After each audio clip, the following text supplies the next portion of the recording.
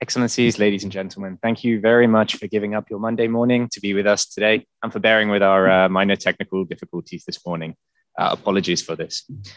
Um, His Excellency Dr. Eng Ratana, Director of the Large Taxpayer Department within the General Department of uh, Taxation, Mr. Huy Bunchay, Official Chief of Business, the Business Registration Department, representatives from Sectorial Committee, uh, company representatives, and ladies and gentlemen. It is my great honor today's event. Type On e-commerce in Cambodia, legal compliance and tax. This is, of course, a, top, a topic of high importance to e-commerce and all, indeed, all sectors of Cambodia. Every, I think all of us during the pandemic have seen just how important e-commerce is becoming, the trend towards becoming more important in the future. And in today's workshop, we really hope to break down some of those topics with honored representatives from the General Department of Taxation and the Ministry of Commerce to answer some of the questions you may have on the latest regulation.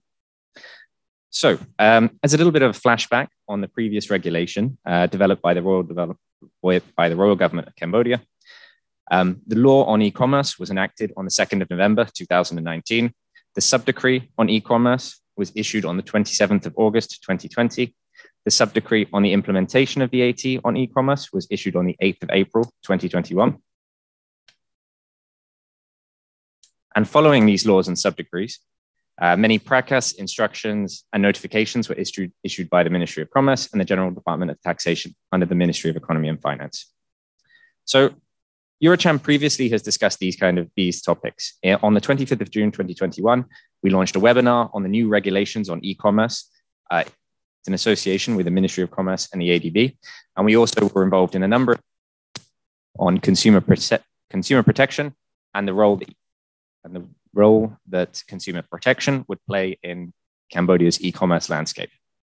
So building on those, sorry, building on these developments, these past events, these, these developments by the royal government and the success of the above webinar, uh, Eurocham today together with our digital and technology, our digital and technology and tax committees, have organized today's workshop to give the private sector an opportunity to hear the reg practical regulatory updates through the presentations by our high-level ministry representative representatives.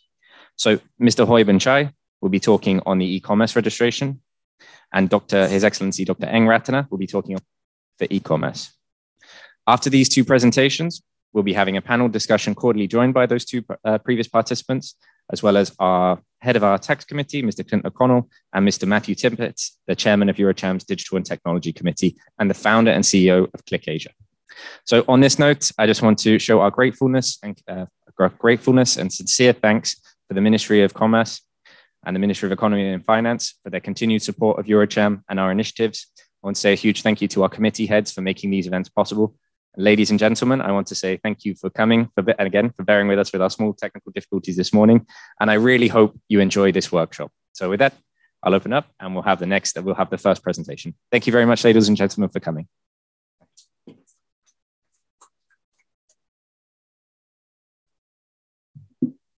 Thank you, Mr. Thomas Hesketh, for your kind, thoughtful remarks. Uh, unfortunately, we have um, His Excellency Soksapia. He can, uh, due to his personal reasons, as well as uh, His Excellency Om Dararat from the Ministry of Commerce, could not be here with us as well. But I'm delighted to present to you Mr. Huy Bunchay, official chief of the Business Registration Department, to give his presentation and his remarks. Please give him a warm welcome.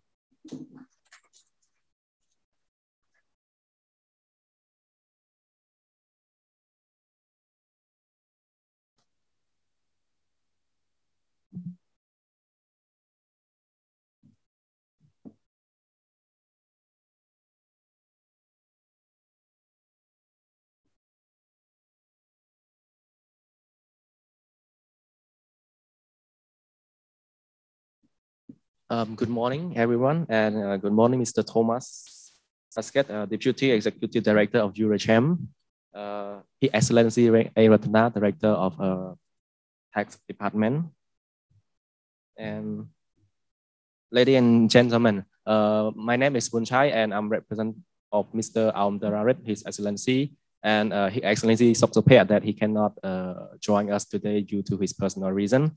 So uh, in this uh, section, I'm going to talk about the compliance on e-commerce, uh, especially for the license and permit.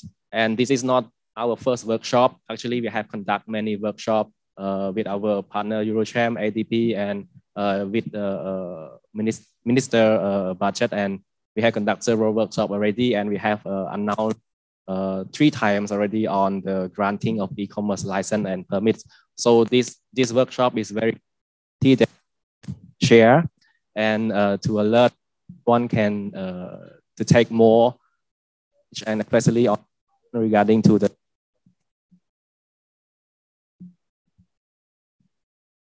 sorry for this one. So um, I will show every one of you here a very quick presentation on the requirement and classification criteria in order to uh, applying for e-commerce permit or license for the service provider or intermediary, especially for company. As we know that due to the COVID season here, we see that uh, e-commerce transaction is uh, improving a lot, growing a lot. And everyone here, almost everyone, including myself, that now we are going to use, we are using the, the, the e-commerce, especially ordering food, ordering service, do uh, by phone or by online or by computer or by website. So uh, let's go through our slide. So this is our key topic that we are going to talk this morning. So the first one,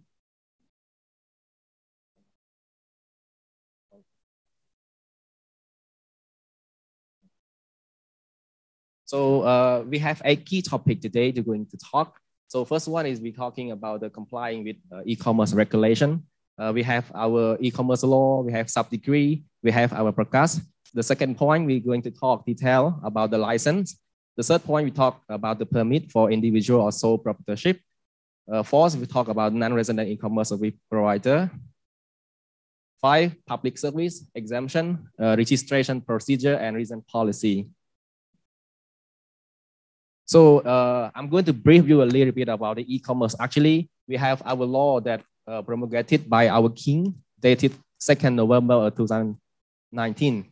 After that, we have the sub-decree on e-commerce dated on 27 August 2020. And we have two broadcasts. It, is prakas on e-commerce dated on 9 October 2020. And our joint prakas regarding to the public service fee.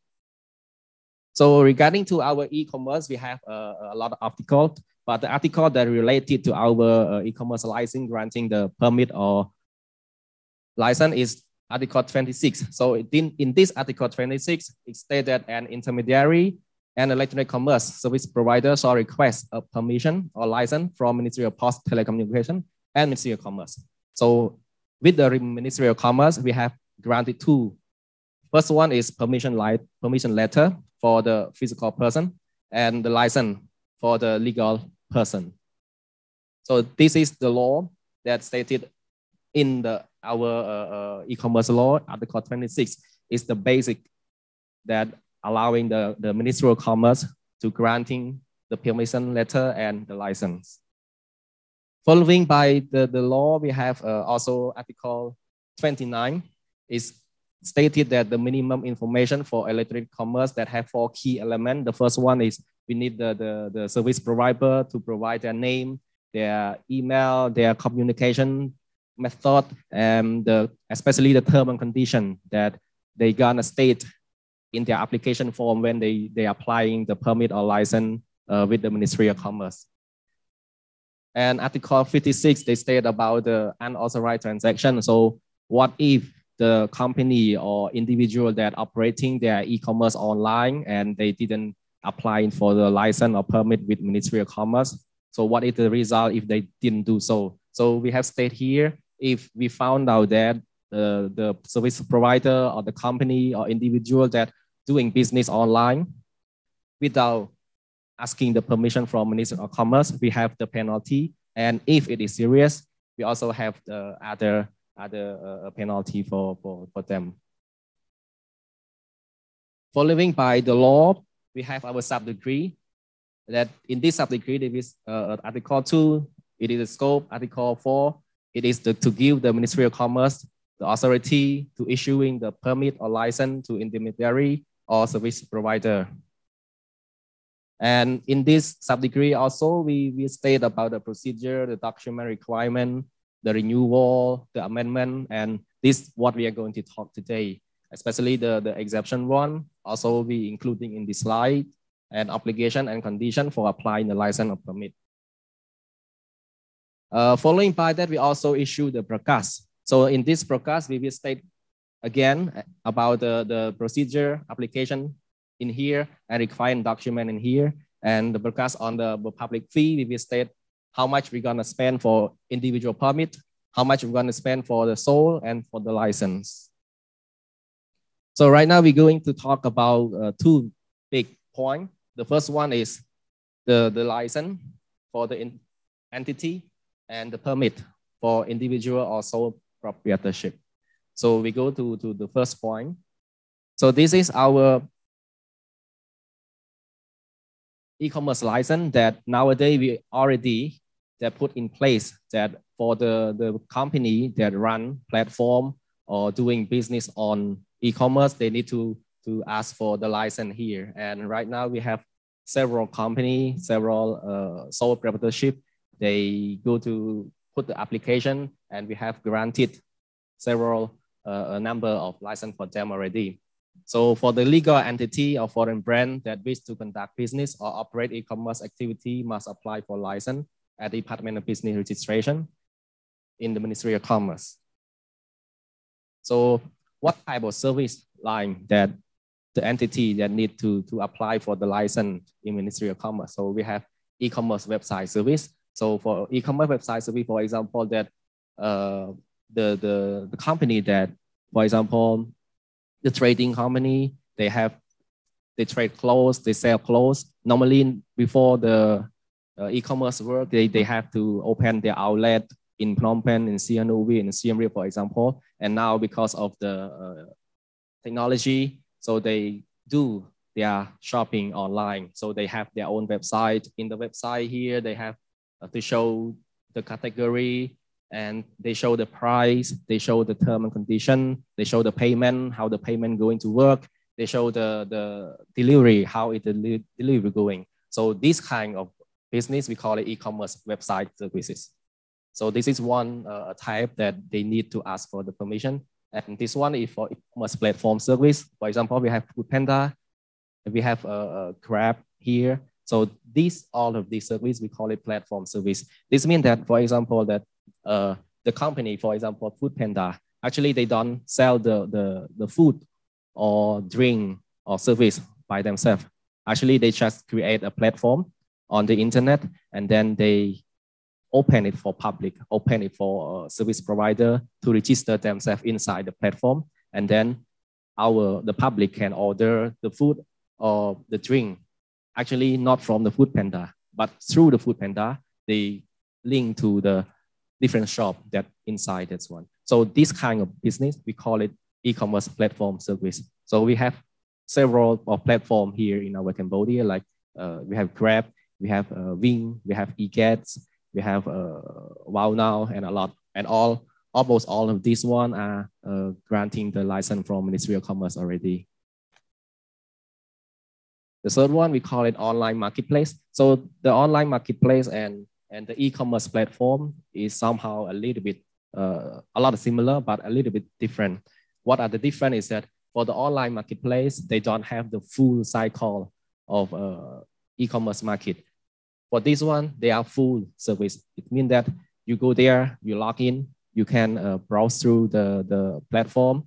If you want to, to order a drink, for example, Starbucks, you just go to Starbucks and then they have the, the price, they have the button that you can put into the basket and then make the payment and then get the delivery. So it is a full cycle inside the platform. But for the online marketplace, uh, it's not the full function here. It's just like they just create the platform, also a, a kind of platform, but it's for public. You can go there, for example, Khmer Payboon, you can go there if you want to sell your, your own motorcycle or your own phone or your own car, you just go there, create the account, and then you're posting it with the price.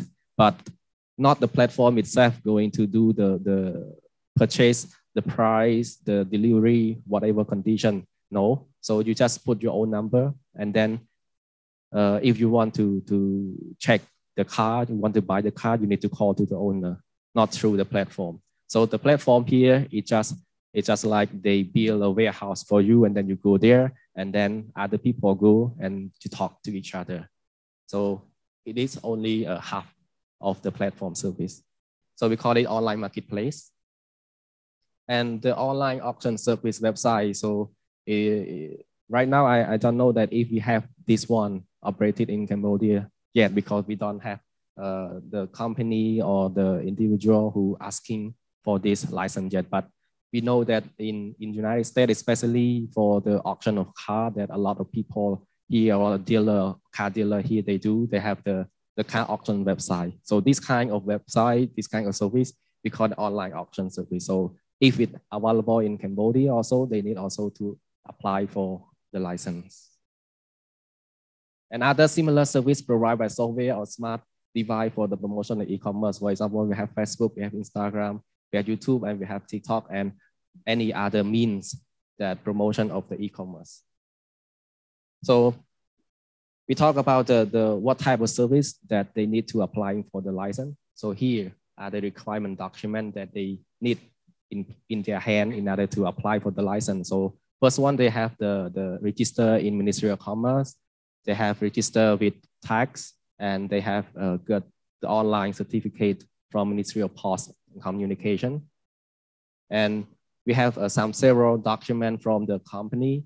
The first one is the payment method. Normally they have uh, open with bank account in, in Cambodia that recognized by the NBC. Second one, they have the document on business model and consumer protection for e-commerce. So the business model here, they we want uh, the company that asking for the license to describe about their flow of the business. For example, that uh, I sell, I have a website that sell the food, for example. So starting from the user, they will come to my page, for example, uh, fooddelivery.com.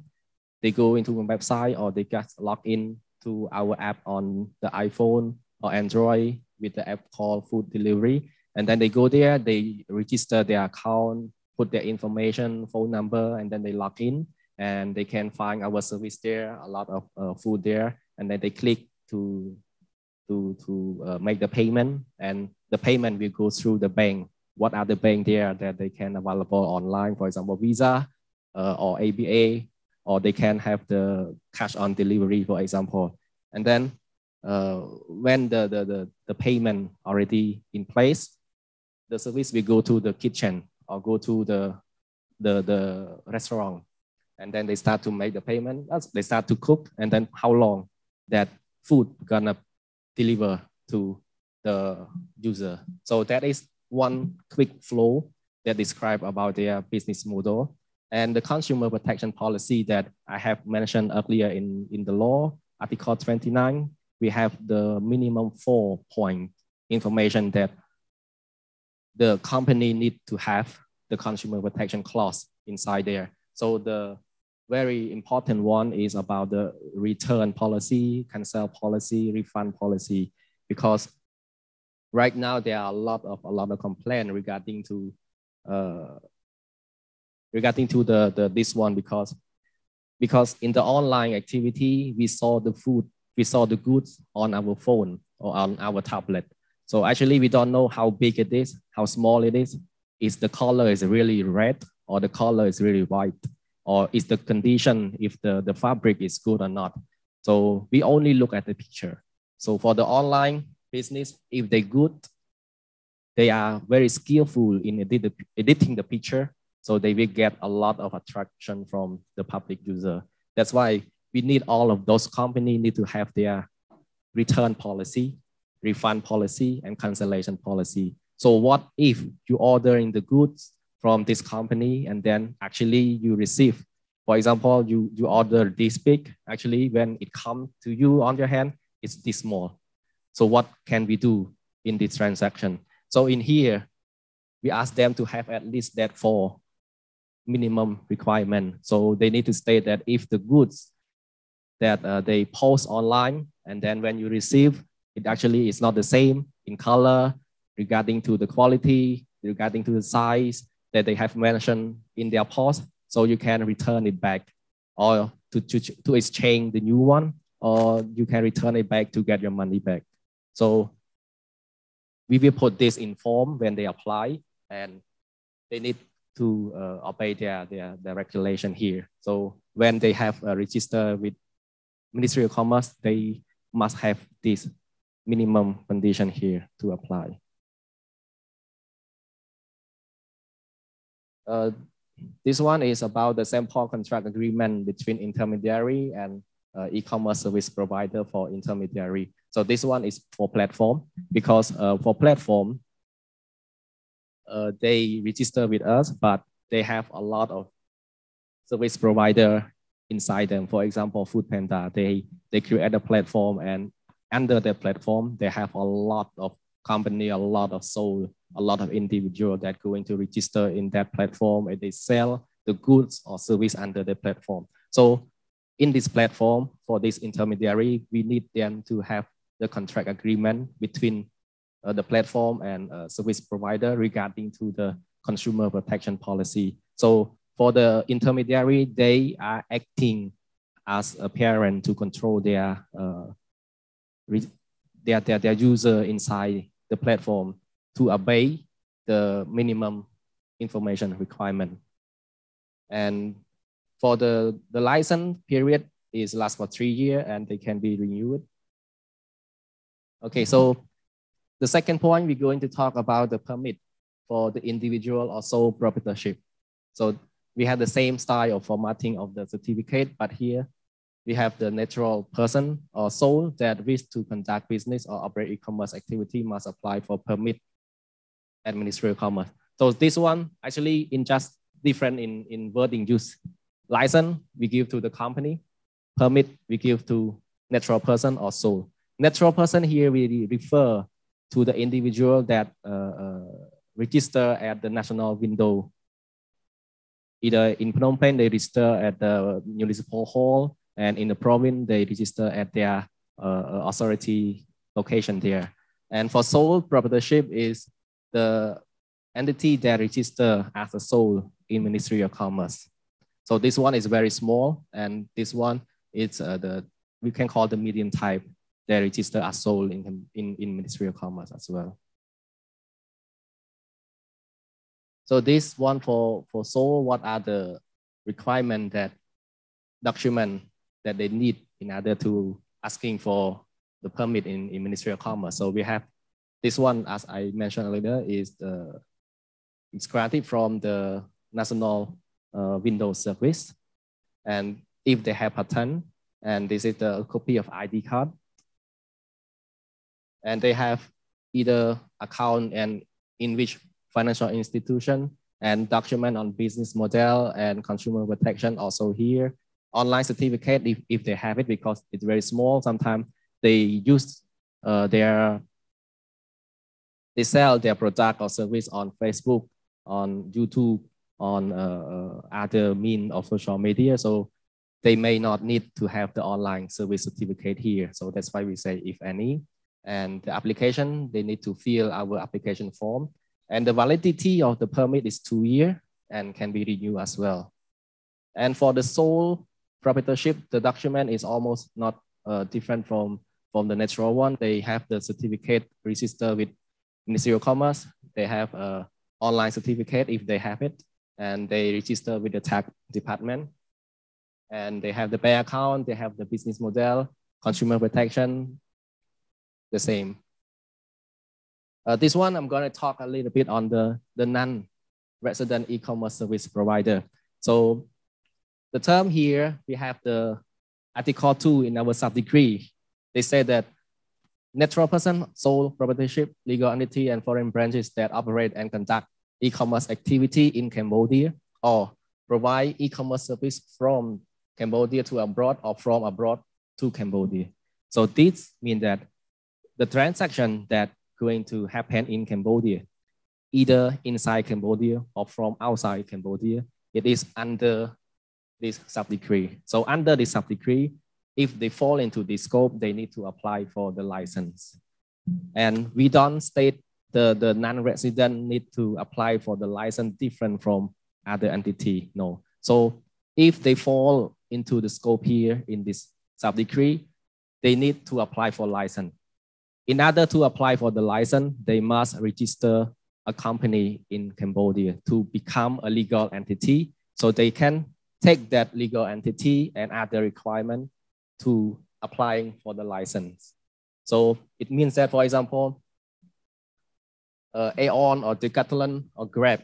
So these are the non, actually they are the non-resident e-commerce that they have outside Cambodia. But because of the law state and the sub, this sub-decree state that they need to apply for license as well to do the business in Cambodia.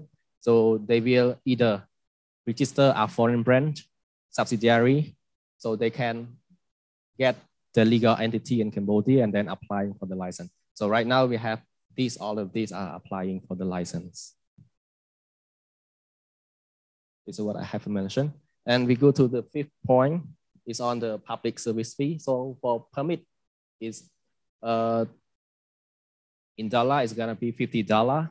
And for SOL is $100. And for license is uh, 1 million riel, around $250. So this is the, the public fee. We have our joint prakas between Ministry of Commerce and uh, Ministry of Finance.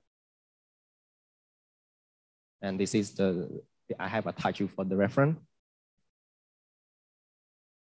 So we got, we go to one important point is about the exemption. So not all the e-commerce provider that uh, doing the, the good, selling good online in Cambodia all of, not all of them going to uh, applying for permits in Ministry of Commerce. So we have the exemption. So if the service or the business that fall under the exemption, they don't need to applying for the permits in Ministry of Commerce. So they can do uh, their business without the permits. The first one is advertising that is not fall into contract proposal. So uh, for example, they on Facebook, they just uh, posting as advertisement. So they don't have the clear payment. They don't have the clear price. They don't have the clear term and condition. So they just post, for example, I have a house for sale. Actually, I just post it, where is it? Uh, how many room it is, it has, and what are the, the location is there. And for more information, you can contact this number. Or for more information, you can go to Burai, blah, blah, blah, blah. And this kind of uh, posting online, we call it just advertising. So for advertising purpose, you don't need to apply for uh, permit in Ministry of Commerce. Second one is provision for service without deposit or payment by customer or user. So for example, you go to a medical booking service website. For example, I have a clinic and then I have an application inside the phone that uh, my patient can book it online. So for example, I go to, to, uh, to check health and then I just go to this website and then I book accommodation time with my doctor Dr. A, B, C, D, something like this. So in this kind of service, just booking, there's no payment inside there. There's no deposit, just booking the information, just booking the service. That also the exemption from asking for the license or permits. The third one is the sale of good or service of a natural person or sold without return over below a small tax payer. It's also not qualified for our license or permit. Other point is uh, the seasonal or family good service. So for example, I have a farm in Kampot or I have the durian farm there. And then in this season is the durian season. And then I have my, my farm is quite big. I cannot uh, only eat for my family. So I want to share to other people to, to, to have it. So I just post it on my, my, my Facebook or on my social media that I have, for example, the very good durian from Kampot, something like this one kilo is, for example, 10 or 20 dollar. So in this kind of activity that we call it seasonal goods or service here is also uh, exempt from asking the permit from Ministry of Commerce as well. So make sure that it is seasonal for your family. So for example, uh, in this period, I have durian, and then in the next period, I have mango, and then in the next period, I have any other product. So that also exemption from getting the permit. sell personal item or artwork. For example, you are the painter, you paint a very beautiful one, and you want to, to post it online, sell it online. This is your own artwork, also exempt from asking for the license of personal training. Yeah, we have a lot of personal training online nowadays. So uh, follow my, my user or my channel, and then we have class on the training, for example, like in this picture. So this personal training also exam. National religious training or education, and you have on the Facebook now a lot of uh, religion training, for example, um, Mr. Kusupip, they have a lot of video uh, on the Facebook or on the YouTube to the public. So we also not asking him to get the license and other education as well. And training by non-profit organization or operate by public institution that provides in public service. So right now we have the KNDX. It's from uh, Ministry of Commerce that they launch the registration platform service. So this is operated by the government, also not going to get the license from Ministry of Commerce as well. So for all of the point that I have mentioned earlier is about the exemption. So for the exemption, those business that think that they themselves, if unfold under the exemption, they just go to, to, to fill a very short form to put their name, uh, their business objective, and where they, they, they, they have it, and then just email to us. So this one, when you think that your company or individual that doing the business online and you think that yourself you meet all the criteria that I have mentioned earlier that fall into exemption, you just pay, uh, you just uh, uh type through this uh, application form and send it by email to Ministry of Commerce. So it's just a notification. You don't need to submit by yourself or you don't have to pay anything. So just email, write it down, and then scan it and email to us just to get the, the document. We need to note that. And sometimes we need to check either that uh, what you are doing if fall under exemption or not. And for the procedure, right now we have our website, e-commerce. You guys can go to this uh, address and then we have plenty of information regarding to the law, regarding to the sub-decree, the prakas that I have mentioned here, all in there. The application form also we put in there and other related and our new notification also we will update every information update there. So I just show you uh, the, the application form. Actually, the form here is inside the website. You can go there and browse through a little bit and you will see that this form, this form is for the license and this form is for natural person.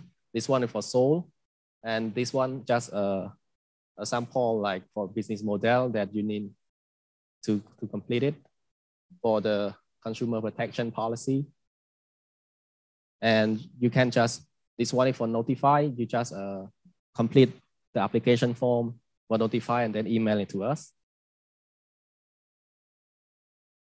And this is, uh, I just want to highlight a little bit what we have done recently. So we have issued a prakas regarding to create a working group to promote the implementation of the law of e-commerce. And we have a lot of responsibility here.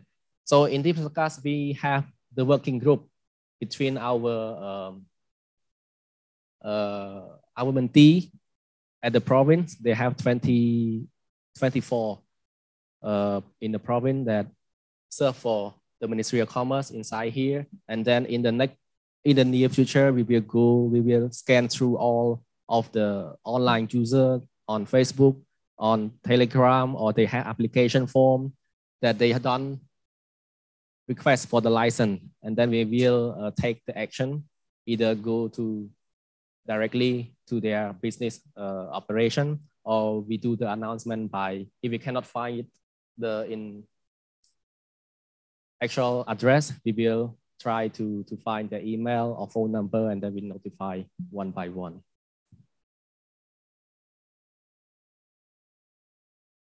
And we have uh, this one is the latest announcement on delaying the penalty for applying the e-commerce license or permit. So in this notify here, the deadline is on 1st July 2022. So I think it's only 10 days left for the delay of penalty. So the penalty, as I have uh, mentioned earlier in our law, if we found out that the company is doing business online without license, so we will fine them or penalty them until 10 million riels.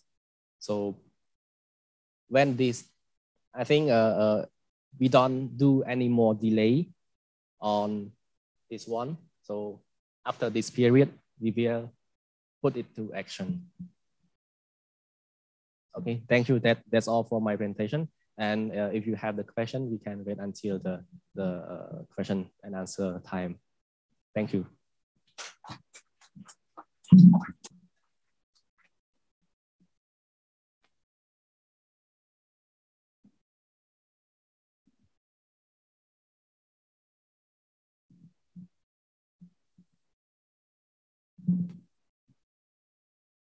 Thank you, Mr. Bunchay, for your insightful presentation.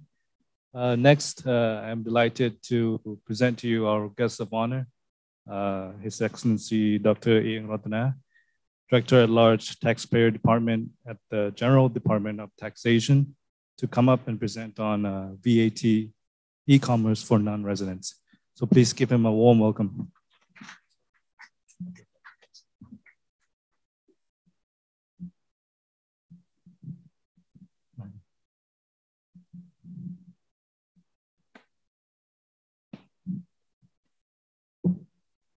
Mr. Thomas Hesketh, the Director of EuroCham Cambodia, Excellencies, ladies and gentlemen. I'm really delighted to be invited to join this workshop on e-commerce this morning, organized by EuroCham. I think uh, e-commerce is very new for Cambodia. Why the uh, COVID-19 uh, pandemic and also e-commerce eh, also uh, pandemic also because there is no COVID-19 pandemic, I think the go uh, the e-commerce may develop very slow in Cambodia. Currently, in Cambodia try to use buy and and sell goods through e-commerce. So they start to know e-commerce. Before COVID-19 uh, pandemic, I think that most people in Cambodia may not know. And only people in, in, in Phnom Penh, some of people in the more income, but uh, poor people, they don't know how to use the electronic device. But currently, most people, I think, especially young people. And for my presentation this morning, I cover only e-commerce, the sell good digital goods and services from overseas, not covers local sale of digital goods and services. Because if taxpayer they supply digital goods and services locally, they have to comply with the local law that we have been implemented long time. They must register if they, for example, like a lady sell online, if they turn is she turnovers mid threshold, they have to come to register. Uh, 250 million per year turnover, but not cover for my presentation this morning. My presentation this morning only cover non-resident. They sell digital goods and services to Cambodia only.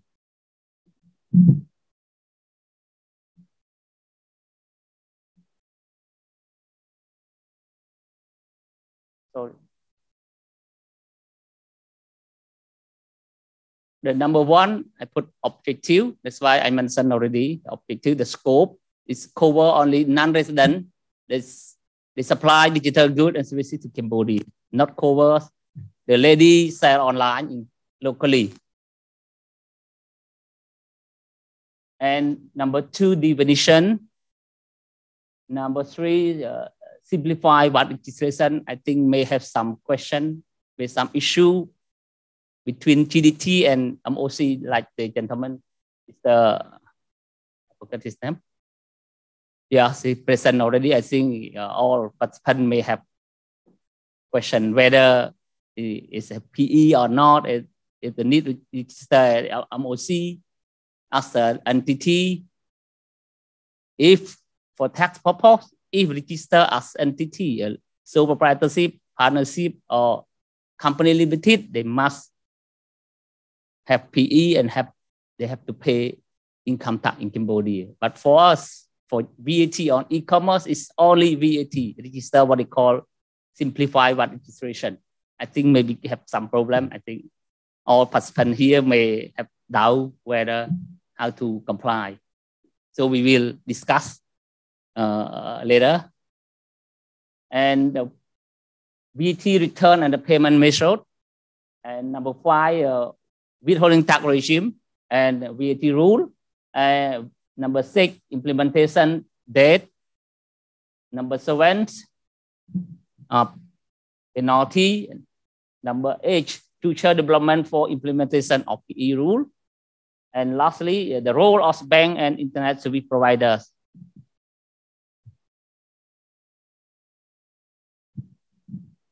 Let me use this one.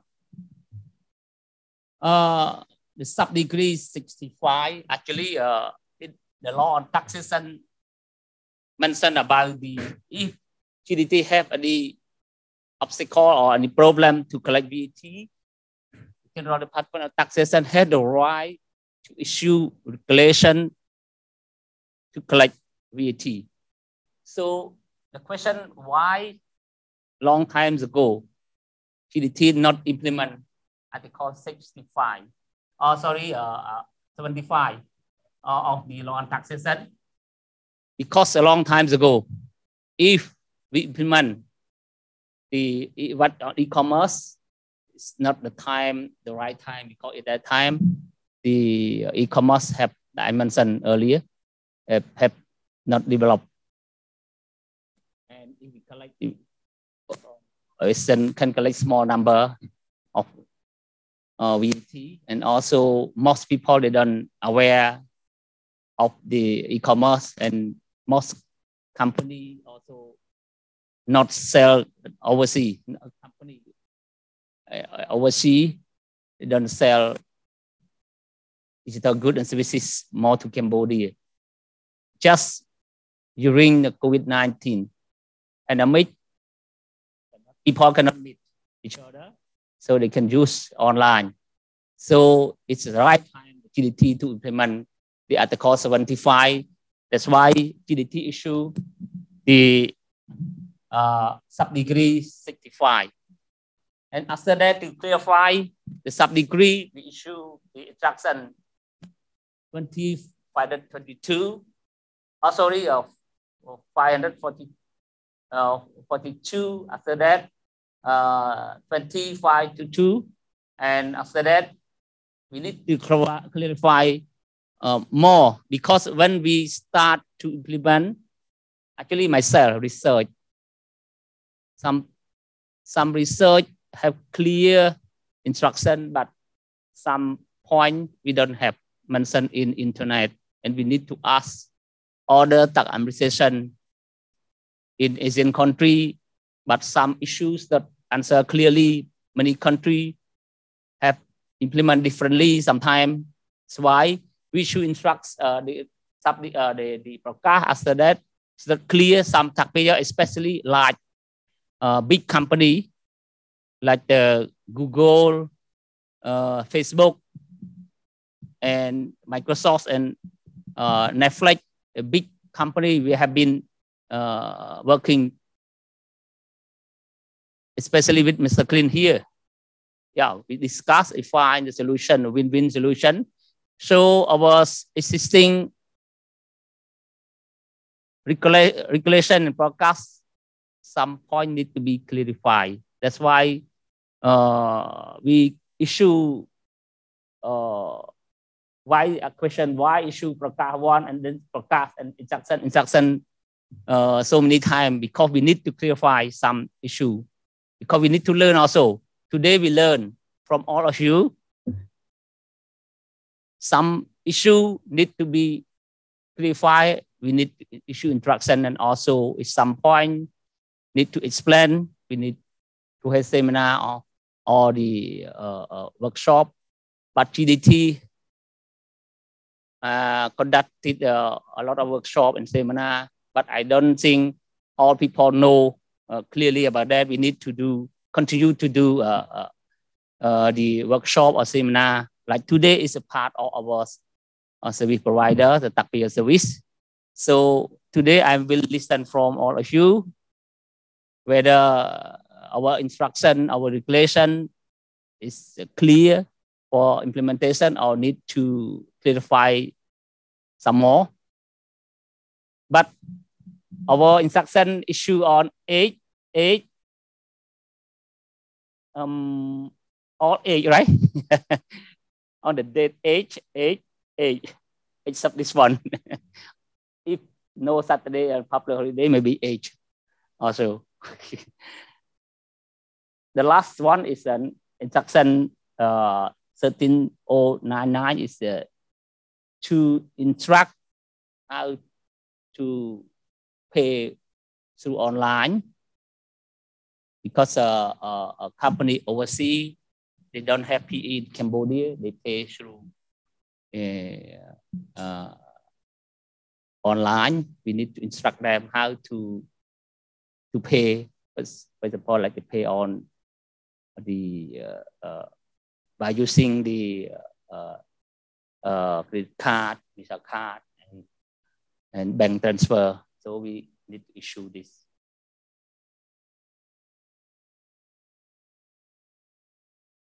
The, the purpose is uh, to determine the special condition and to set out the mechanism for implementation VAT or digital goods and services that consumed in Cambodia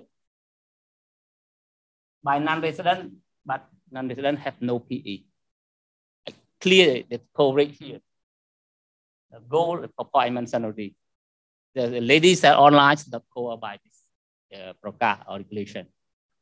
And also the supply, the supply of digital goods and all services or e-commerce activities with a electric system carried out by non-resident supplier to consumer in Cambodia sell to consumer.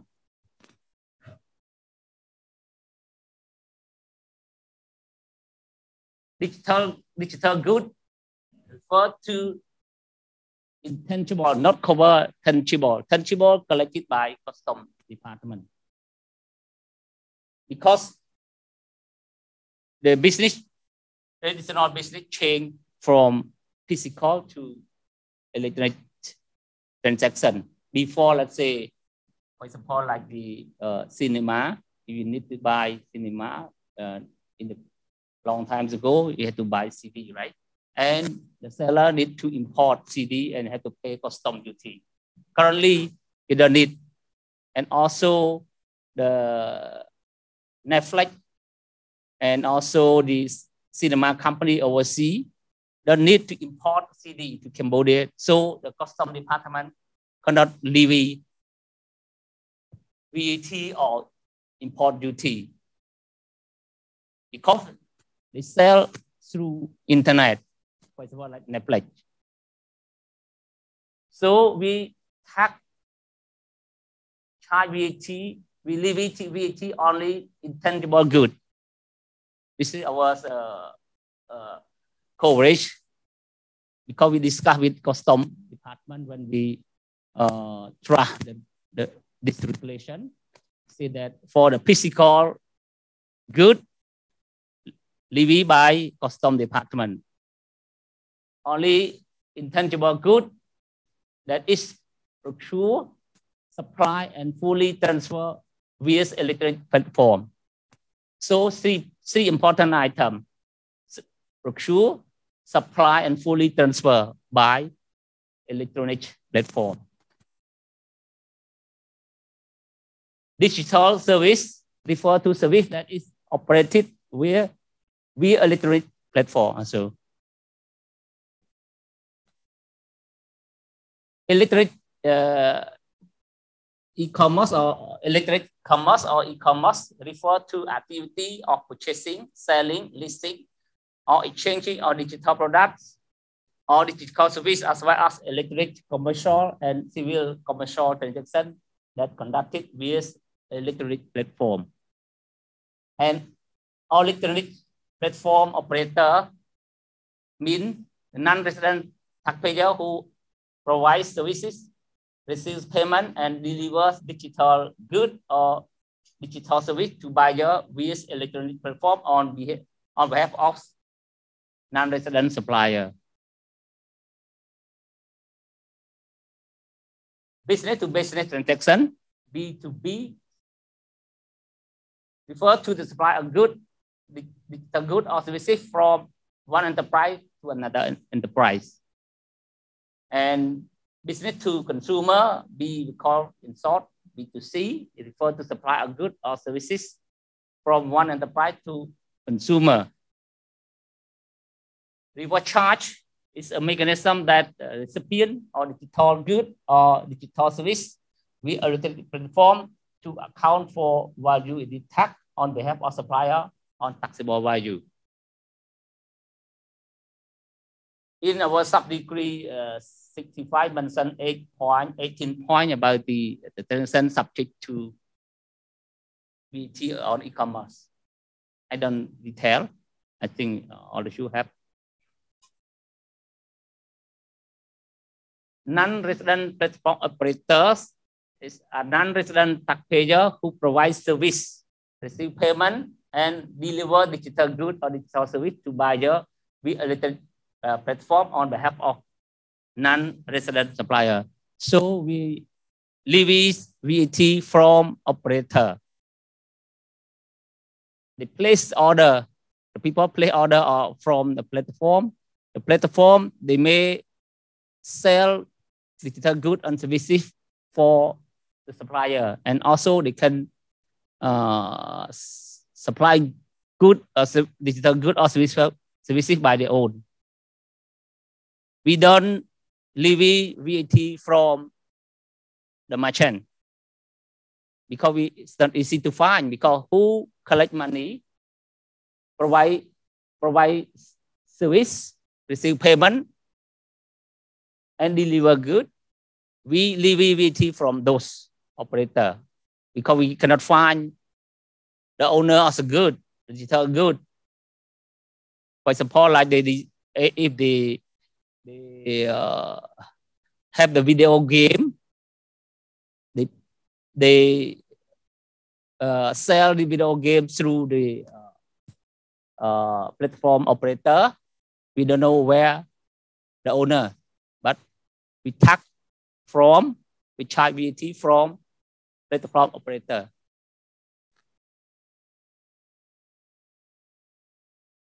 The platform operators have application to register as simplify VAT registration and collect VAT 10% instead of merchant with using platform to sell the product, file VAT return and make payment to GDT.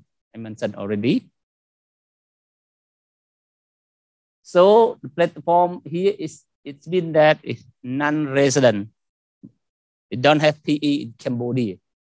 I I said many times if they have PE, not covered by this regulation. It's, they have no PE.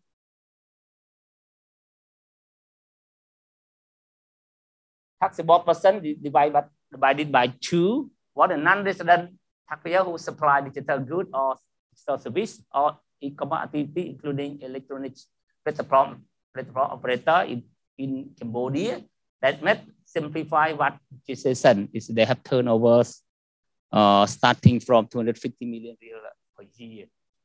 And also, we define as the taxable person for self-assessment taxpayer who purchase digital goods and services from non-resident.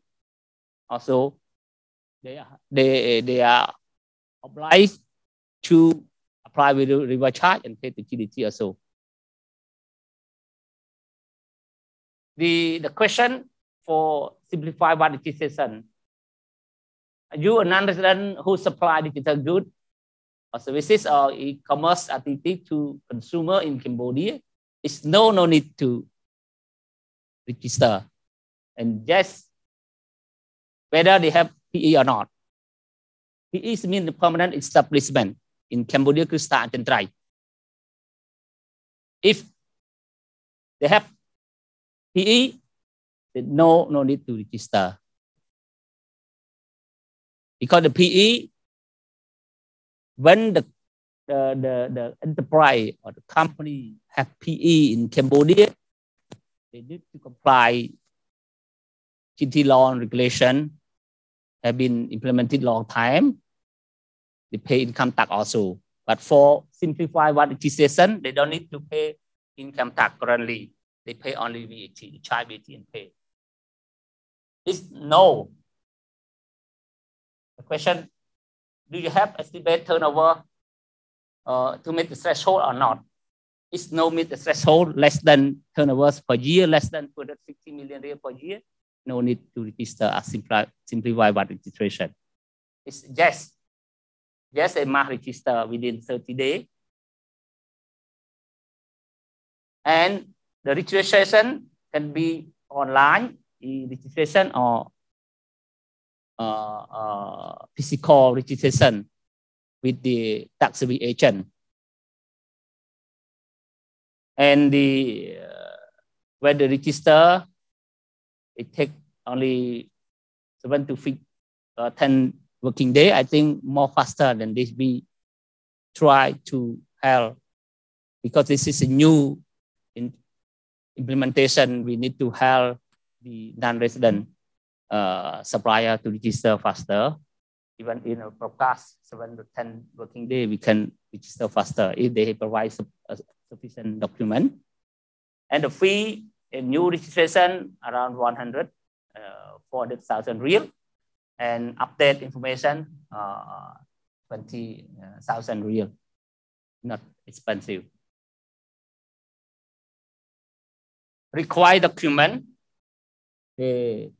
for the VAT registration, the application uh, for simplified simplified registration, certificate of business registration of non resident taxpayer. It's been that the certificate from overseas resident uh, company, they, they need to have, they, they, they, have, they must have the certificate of citizen in their own country valid identity document of owner or representative, ID card or passport, a representative. Most big, big company, multinational company, uh, they have the representative because they listed in the stock market. They have no, they cannot find the, the owner.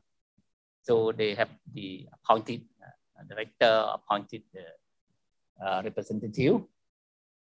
The two current passport, photo, 35 multiply uh, 45 millimeter with white background.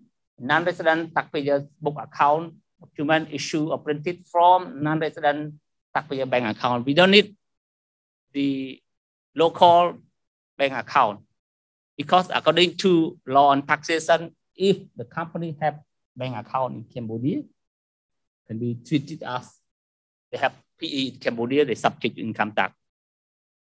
So we don't need to have bank account in Cambodia, but they just they have to provide the printed uh, bank account from non-resident bank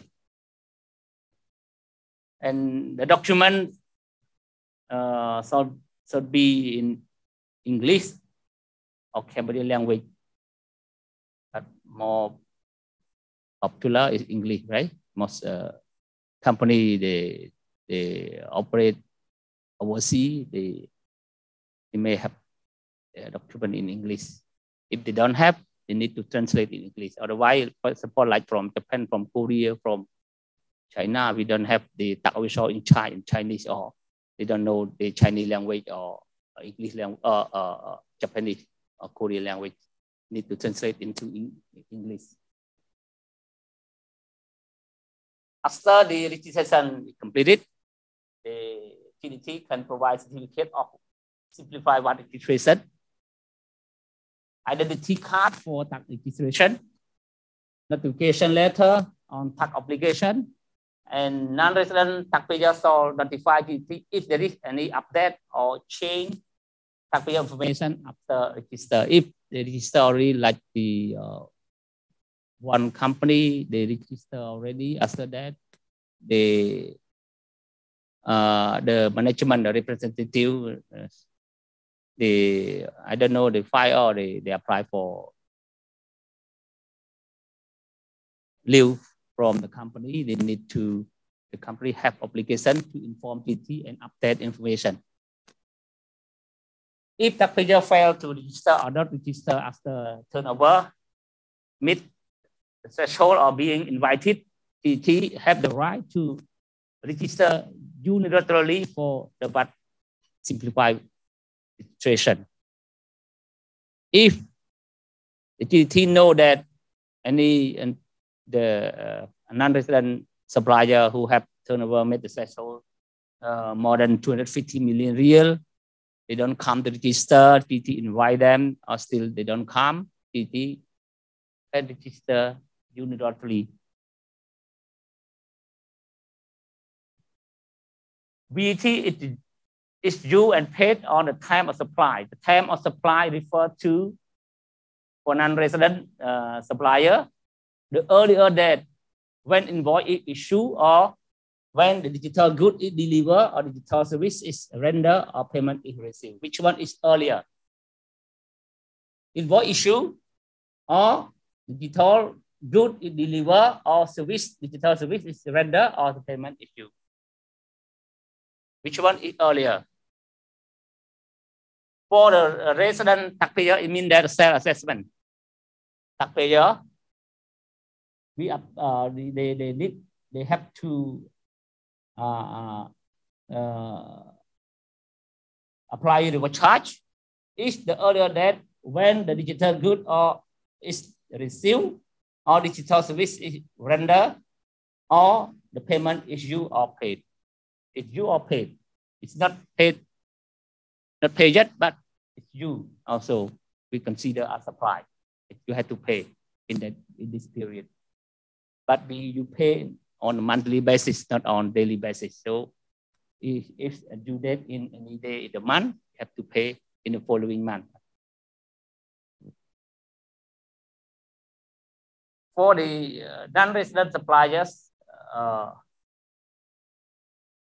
the question, does the supplier provide digital goods or services or e-commerce activity to consumer in Cambodia? It's no, no need. Okay, VAT is yes. Have to think about if they provide enough information, we have important uh, requirement. They have the PIN number and bank account.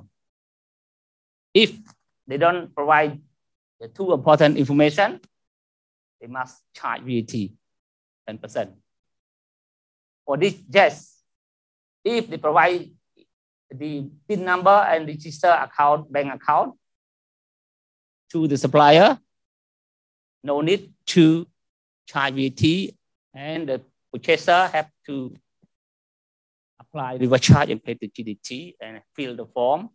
The in appendix VAT 01, I mentioned in appendix 2. And this point, does the supplier provide taxable or non-taxable supplier to individual or entity who is not registered for tax in Cambodia? It means a B2C. It normally, uh, B2C is no register uh, no TIN number. So they must charge VAT and fill the form charge VAT 10%. So ask the assessment taxpayer if you purchase digital goods and services from overseas whether the supplier, resident non-resident uh, supplier register or not, you must apply the overcharge 10% and pay GDT. Suppose you buy, for example, like the game, the game from overseas or the software from non-resident supplier, they don't register, you have to apply the overcharge 10% and pay GDT, pay GDT. But if you don't provide the important information, PIN number and bank account, the register non-resident supplier must charge from you 10% paid to the paid to GDT. And the payment is uh, you pay manual 20 of the following month and you pay uh, online if a link uh, 25 of the following month. The method of uh, payment, the pay directly or via e-payment for local payment, non-resident taxpayer can appoint a representative or tax agent, service agent and make payment on behalf, or you can pay uh, through credit card or debit card, or transfer from foreign uh, bank account. I mentioned already, we issue the instruction, new instruction uh, to clarify how can you pay to GDT. Issue invoice, the, the non-resident supplier, when they sell digital goods and digital services to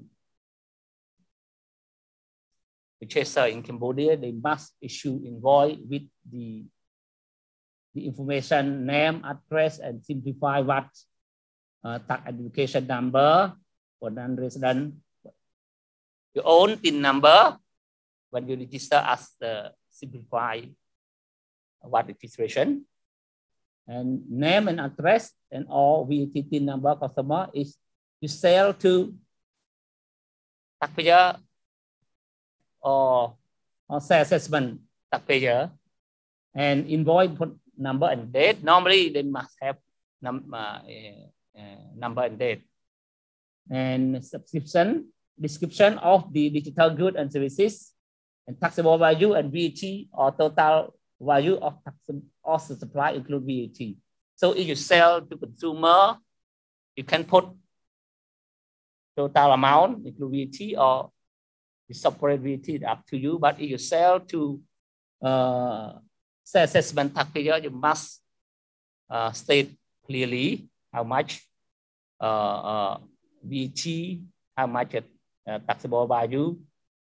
In case uh, they don't provide a bank account, I mentioned already, if they provide only uh, PIN number, why we put the condition item bank account because we think that if we require only PIN number support myself, I can order for personal use.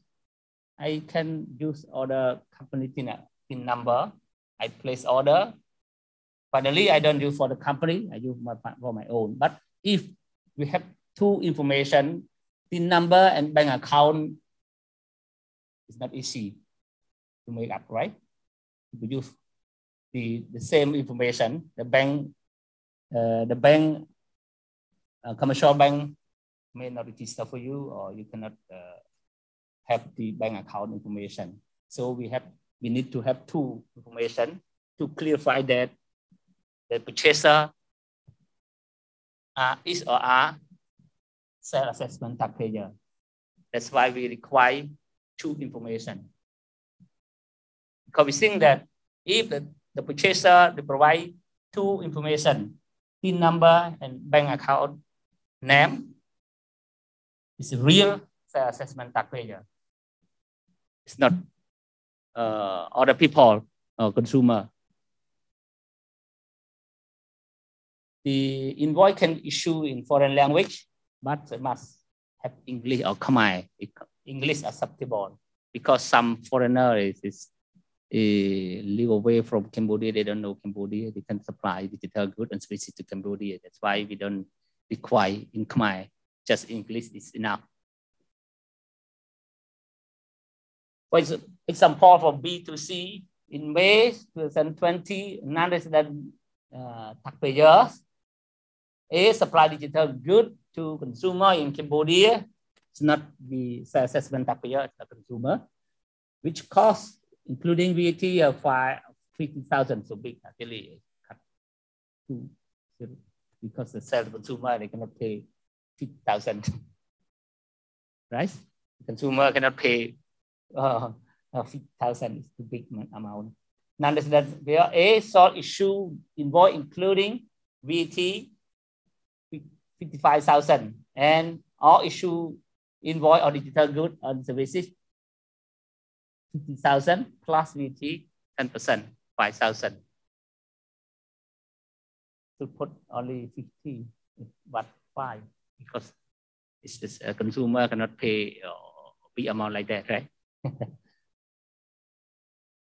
so the uh, flow chart of the B2C, the uh, non-resident this year, the must register when they the turnover, this, this, company is turnover mid sold 250 million per year. The supply to Cambodia, they must register.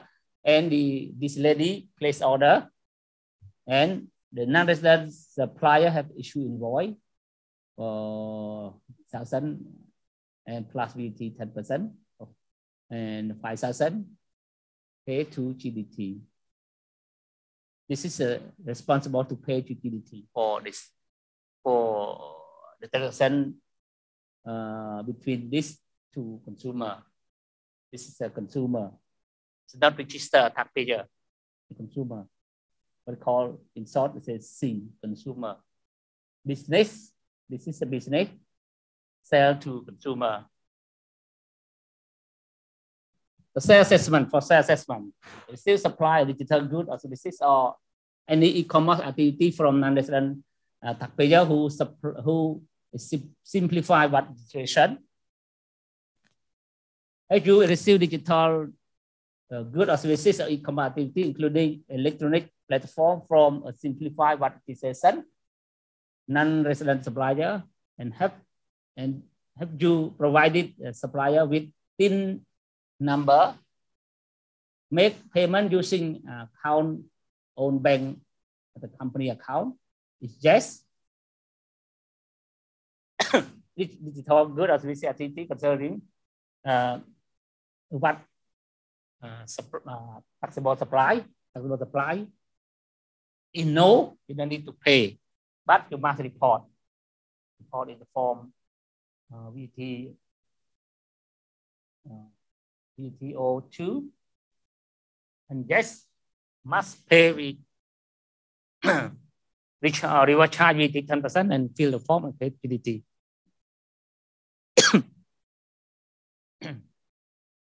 so this is a reverse charge. the purchaser have obligation to apply recharge and pay the GDT. Can I have water? My glass.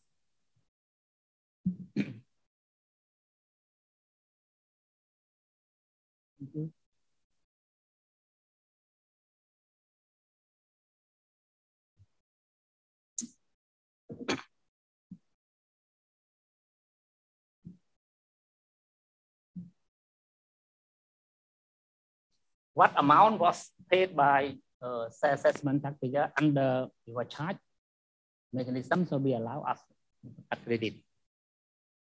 So in a month, the assessment taxpayer who apply the charge, you can record uh, VAT paid to non-resident uh, to GDT as input tax. You can claim credit for the month.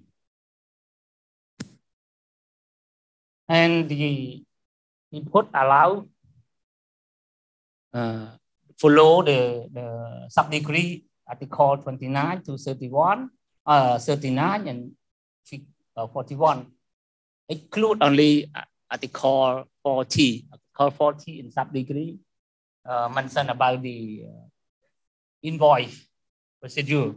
So for non-resident, you cannot follow the info, invoice procedure as mentioned in some degree. So I state again this in English invoice must issue in English uh, in Khmer. Example 2B to B, sell business to business, for example, the same date, the non-resident taxpayer A supply digital good to company B, who is a assessment taxpayer. Non-resident uh, taxpayer A saw issue invoice including VAT 4,000. The company B made payment of 4,000 to uh, non-resident uh, supplier A. Then company B shall calculate VAT based on amount of 4,000 multiplied by 10% equal 400. What we call what we are charged and pay to, to GDT. This is B calculate by its own and pay GDT by its own what they call reverse charge. B,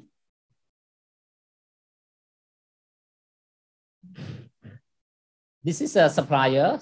This is self assessment. Yeah. They supply, they buy the assessment is a company in Cambodia and be a sole proprietorship and be the partnership or have no partnership uh, I don't know why they don't don't register as a partnership in Cambodia. Even one also, there's no partnership operate in Cambodia. Maybe have any they have we have no any incentive right or any they start they establish the co-LTD easier than partnership. Even the professional also in most countries in the world they start the company, the, the, the business with the partnership like the doctor or lawyer, tax agent. Even Mr. Clint here, your company is called LTD, right? Actually, most country in the world is they set up partnership. But Cambodia have law partnership, but have no partnership. Even one also have no. Who who who who know why? I cannot answer, but I think that may no incentive, right? So this is, can be uh, uh, the sole proprietorship or uh, company register as a sales assessment taxpayer. They play order to sub, sub, supplier non-resident, and the supplier non-resident issue invoice to the company four thousand only, and the they pay the uh, the assessment taxpayer pay to non-resident 4,000 only. But the assessment itself had to calculate the charge 10% based on the value this one. 4,000 multiplied by 10%, 400. What we call reverse charge and pay to GDT. At the same time, this taxpayer, assessment taxpayer can claim input tax for the month. The question whether when you pay your assessment taxpayer, you apply reverse charge with 10%, whether you still have to pay withholding tax or not. The answer, yes. Both. Because VAT levy from the consumer or user of digital goods or services. But the withholding tax is levy from the people earn income. It's levy through withholding agent people who earn income is a kind of income tax. The withholding tax is kind of income tax that levy from people who earn income. So the non-resident supplier who earn money from Cambodia source of income is Cambodian. Cambodia source of income because they earn money from Cambodia, they must pay some income tax.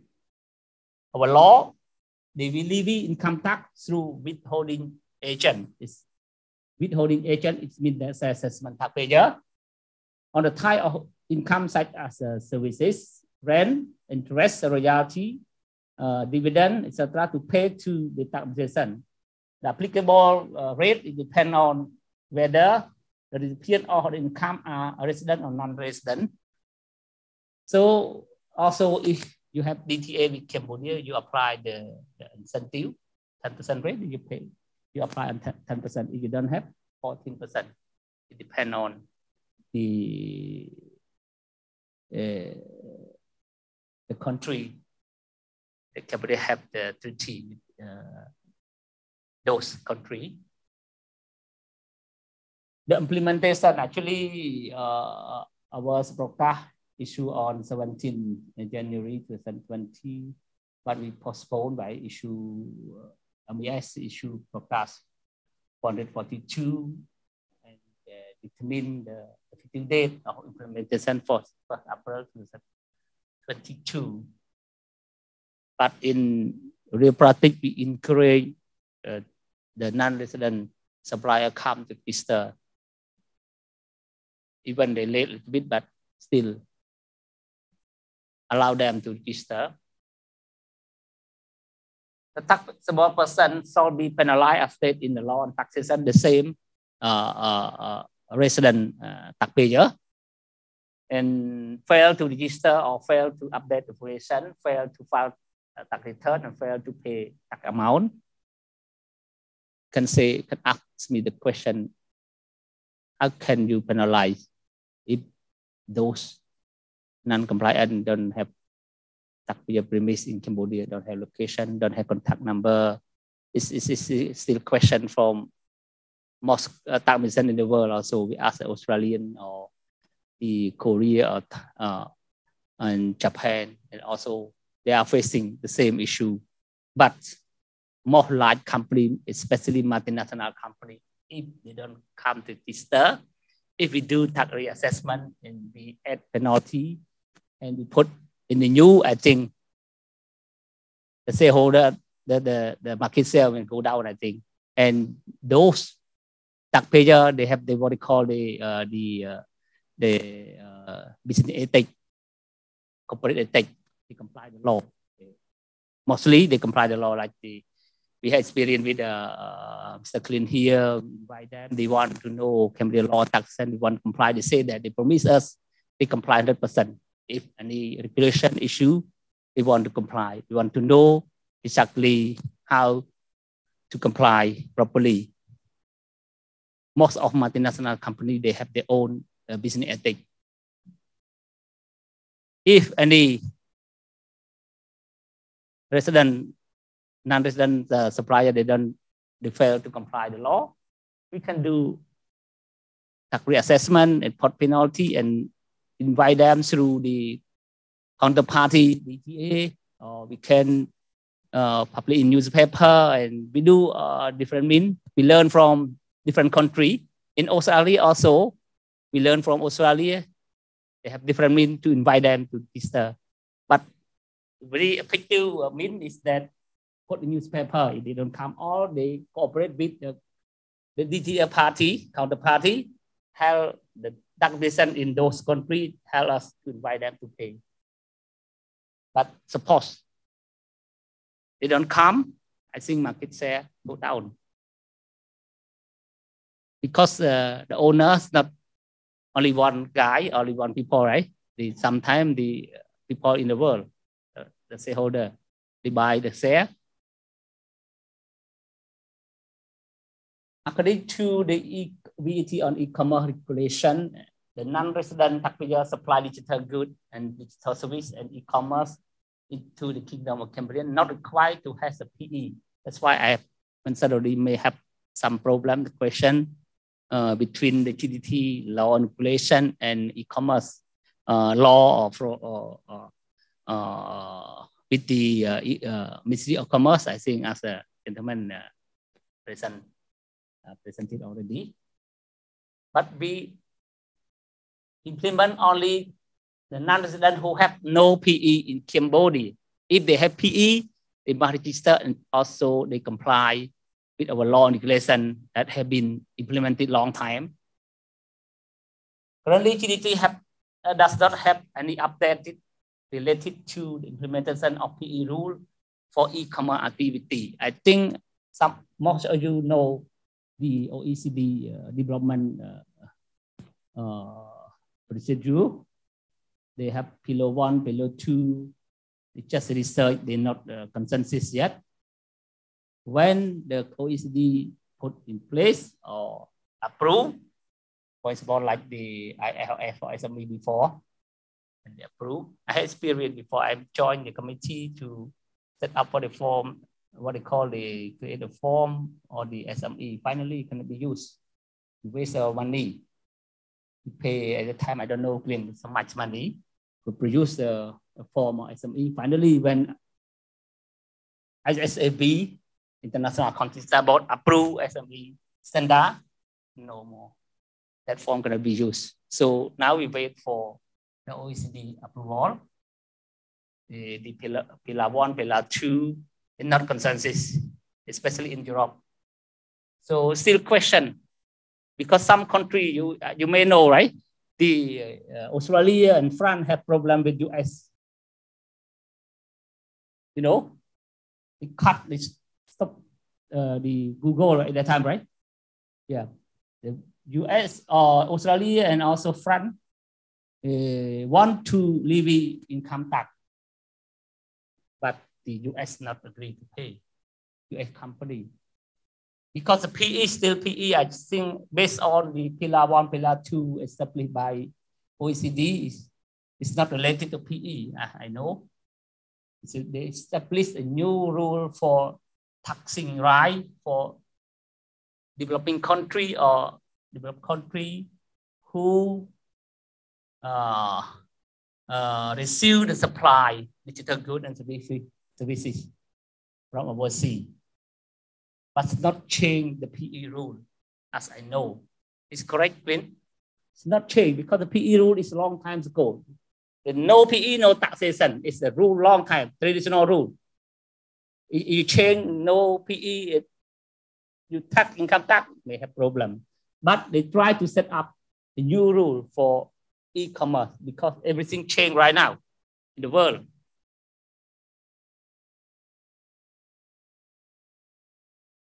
Uh, currently, the uh, local partner, uh, partner bank or GDT have the role to receive the tax payment from the non-resident taxpayer. GDT is studying and going to research regarding the way to use the bank to enforce non-compliance in other country. We learn from other country. We don't know how to do right now, but uh, I think other country they have the internet gateway. For example, if you go to other uh, overseas, even Thailand, when you turn on internet, advertising is nice. Even you want to watch show, it start with uh, Thai advertising first. It means that they control everything before go any the product go to their own to the country. They have internet gateway. We have no so currently, but my boss, Excellency Kong Vibol request uh, to the, the government to the ministry. Also to we should have the internet gateway and the payment gateway. Otherwise we cannot catch up the transaction from other country. I think it's not on Thai, uh, only thailand on different country. When you travel overseas you stay in a hotel you turn on or you uh, turn on the internet. We want to watch a Khmer, Khmer song or any other product in, in Cambodia, you see the advertising on their own country. It means that internet gateway, the control, cannot free like Cambodia. Cambodia is free, right? We cannot catch up the transaction. That's why this we need to research. Otherwise, we cannot catch up. Now, based on volunteer compliance first. I mentioned, it's a large company. They have their corporate ethic. They have to come. If they don't come, they will have problem with GDT. They will put we, we do reassessment, target reassessment, and put all the newspaper on, and it can do uh, whatever we can. Uh, to enforce the non-compliant activity I mentioned already, they will uh, cooperate with the telecom ministry, to block ISP, internet uh, uh, service provider, and the domain can block But we need to research also study with the Ministry of the Telecom. Otherwise, I think the implementation will not successful. We need to learn. And also some country also, they, they, they change the rule day by day, month by month. because everything new happened for the current situation since the uh, COVID-19 pandemic. It's uh, the change and also the new startup, a different way, especially the young generation, they are so smart. they create uh, different product, new product. The technician in the world have, they are facing the issue. So thank you.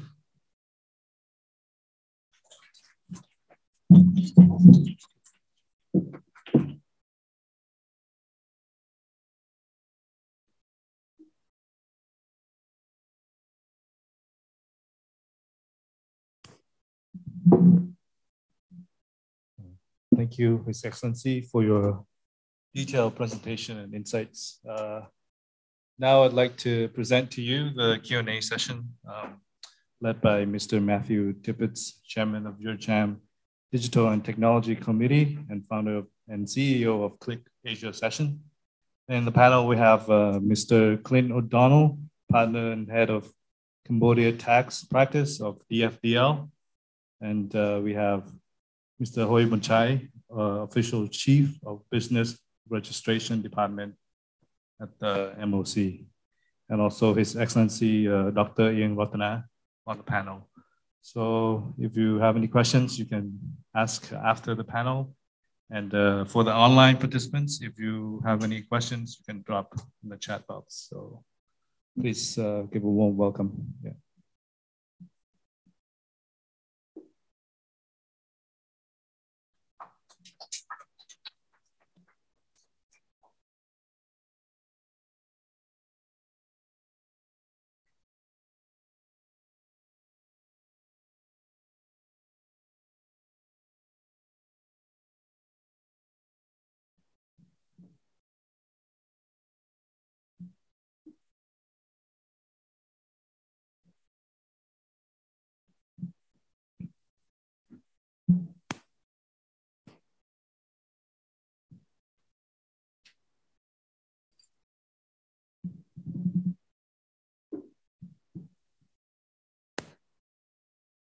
Good morning, everybody.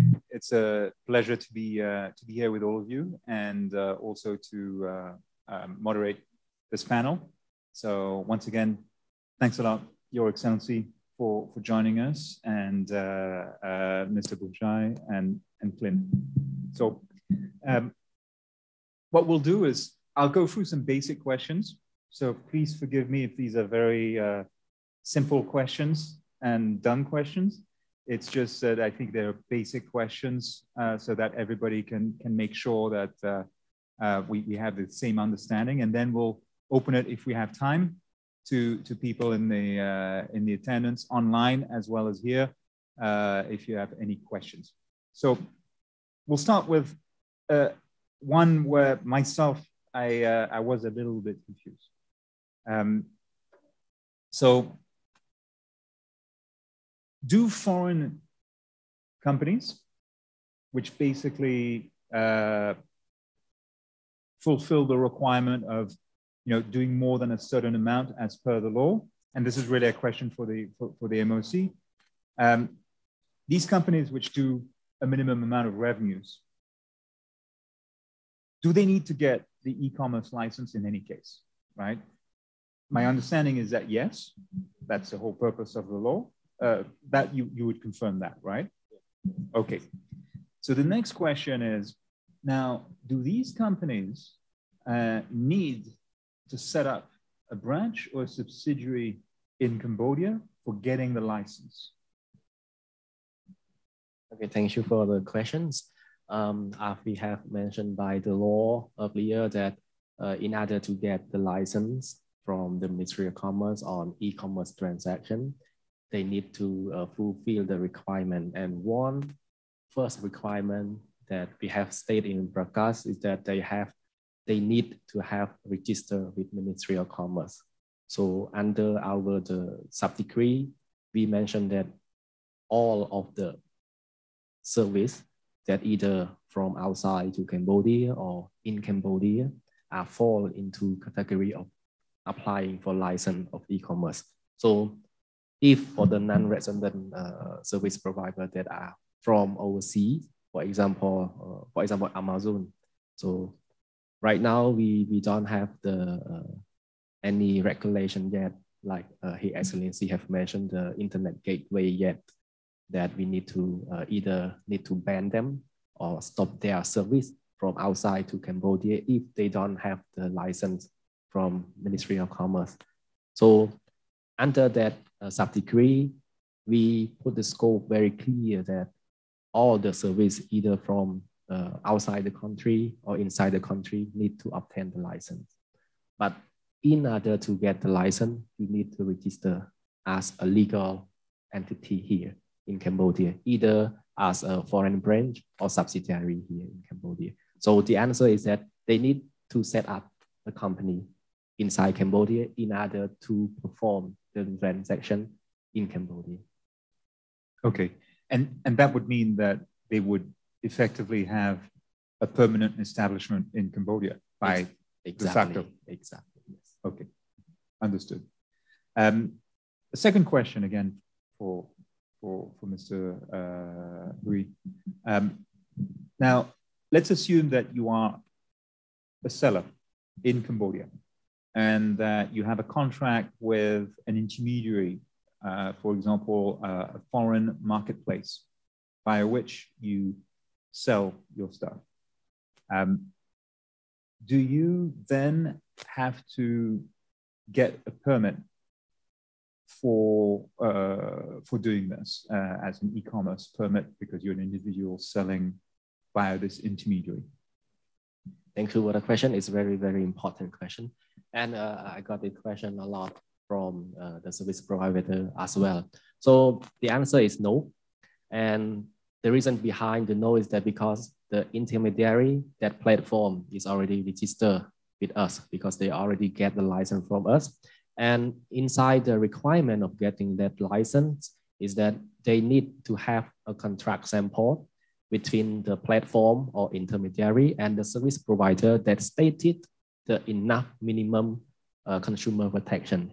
So uh, in simple way to talk is that the platform itself is acting as just like uh, the Ministry of Commerce to control their service provider that operating inside the platform.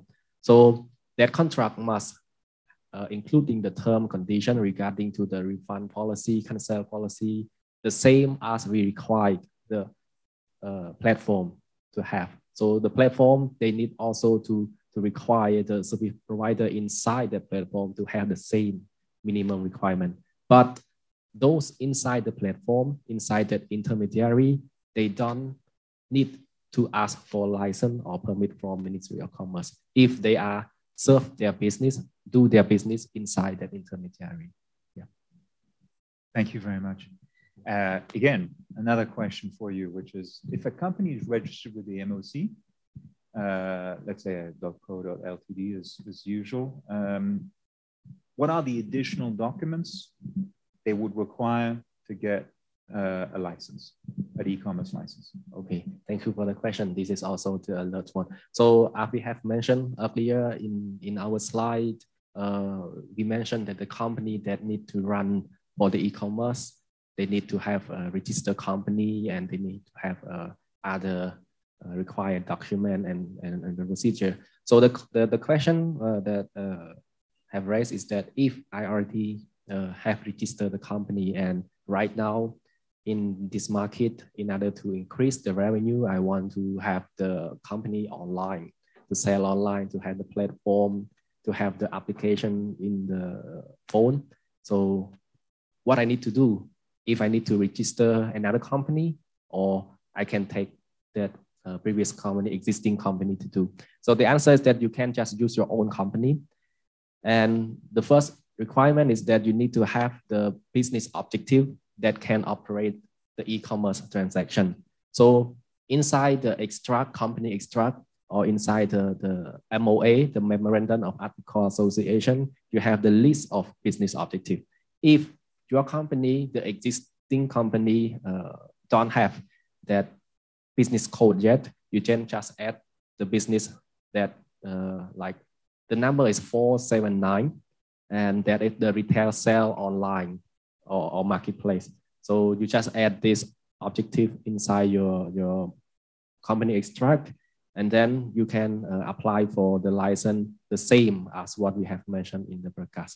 The requirement is the same as the new company. So just to add uh, this one code, business code is enough, and then you can uh, asking for applying for the, the, the license. Thank you. Thank you very much. Um, my next question is for you, uh, Excellency. Um, it's concerning, of course, uh, VAT and, and withholding tax. So uh, let's assume this is a Cambodian registered company, which is buying products or services from a non-resident company. So obviously, according to the law, uh, there would have to be VAT on that transaction. Um, now, would there also have to be withholding tax on that transaction? Thank you for your question. As I mentioned during my presentation already, uh, the two, two different taxes. So withholding tax is a levy from people who earn income that I mentioned already. The non-resident, they supply digital goods and services to Cambodia. They derive income from Cambodia. It's, Cambodia is a source of income. The, the tax understand of Cambodia have to levy withholding tax. 14% if the, the, the country that have no DTA with Cambodia. If they have no DTA with, DTA with Cambodia, they can apply for the uh, uh, the rate of 10%. So 10% apply withholding tax. And for VAT, VAT on e-commerce is a, VAT is a tax levy from the consumer or user of the digital goods and services. So it's not the burden of the company actually. The company, as I mentioned already, the company apply the charge. After that, they can claim input tax for the month as a credit if they have the output tax to deduct with input tax. They don't need the company is intermediary. It's not the the person who consume goods and services, not the consumer, because they buy uh, the digital goods and services for uh, supply of the uh, uh, good or services to consumer to charge VAT. So they have output tax. Uh, after that, they can deduct with input tax uh, that the uh, have paid the uh, through the uh, uh, reverse charge. So the VAT is, I repeat again, VAT is levy from the consumer or the user of digital goods or services, different type of tax. So withholding tax have been implemented long time. It's not uh, stopped since the VAT on e-commerce implemented. It continue, and currently, the company have to apply two tax. One VAT, private charge, and second the withholding tax that have been implemented long time. No question, I think. So two they have to uh, pay both. But the meaning is different. Uh, different. It's one, VAT levy from consumer. Yeah, but the VAT that they pay through uh, a reverse charge is not the burden of the company. The company can claim as input tax. But for withholding tax, the company have been implemented long time. I think should not have question. They have to apply. 14% or 10%, it depends on the country that have DTA with Cambodia or not. If they have DTA, they can apply for the incentive 10% tax rate based on the DTA. And if they have no, they apply 14%. Thank you very much, Your Excellency. Question for uh, Clint. Um, from your experience, um, do banks need to get the e-commerce license as they can do a lot of online businesses, right, with their mobile banking and so on? Uh, that's probably more of a question for the MOC, maybe more of a tax guy. Sorry. Okay, thank you for the question. Um, actually, inside the law, we have mentioned that uh, the definition of intermediary, and inside the definition, we have one line that talking about the uh, e-commerce uh, service payment provider. So the banking system that they have online right now, because almost all the bank right now they have online system doing the same work as the offline system. It means that you can go to open account, not directly to the bank now. You just have your phone. You scan your ID card, you take the picture, and then you fill information. You can open your bank account at home or anywhere you have the internet. You want to deposit the money, uh, also you don't have to go to the bank. You just go to uh, the, the ATM machine or whatever, and then you can transfer the money. You can take loan. Actually, the, the same process from the physical go to the bank and the online. So this law also cover the payment service provider, but in our sub decree, we not mention, we exclude this one. They, they don't need to request for the license from the Ministry of Commerce because they are under control from the National Bank of Cambodia and the online payment also under control of Ministry of Post and Communication. So if uh, the, the NBC that issuing the license and state that they can uh, uh, operating the banking system service in Cambodia. So either that they, they operating in, in physical world or they operating in online world, as long as their operation is the same under the control of NBC. And to go online, they under control of Ministry of Post. So they don't need to, to request the license from MOC. But if inside that uh, application, if they have one uh, category that they provide business, e-commerce business. For example, they can have the link for the, the, the vendor, for the supplier to go there, register there, and then have some uh, service to provide to the consumer. So that point we need to asking for the license. But if no that point, just normal banking service, so uh, the bank don't need to uh, ask for the license. Okay, thank you.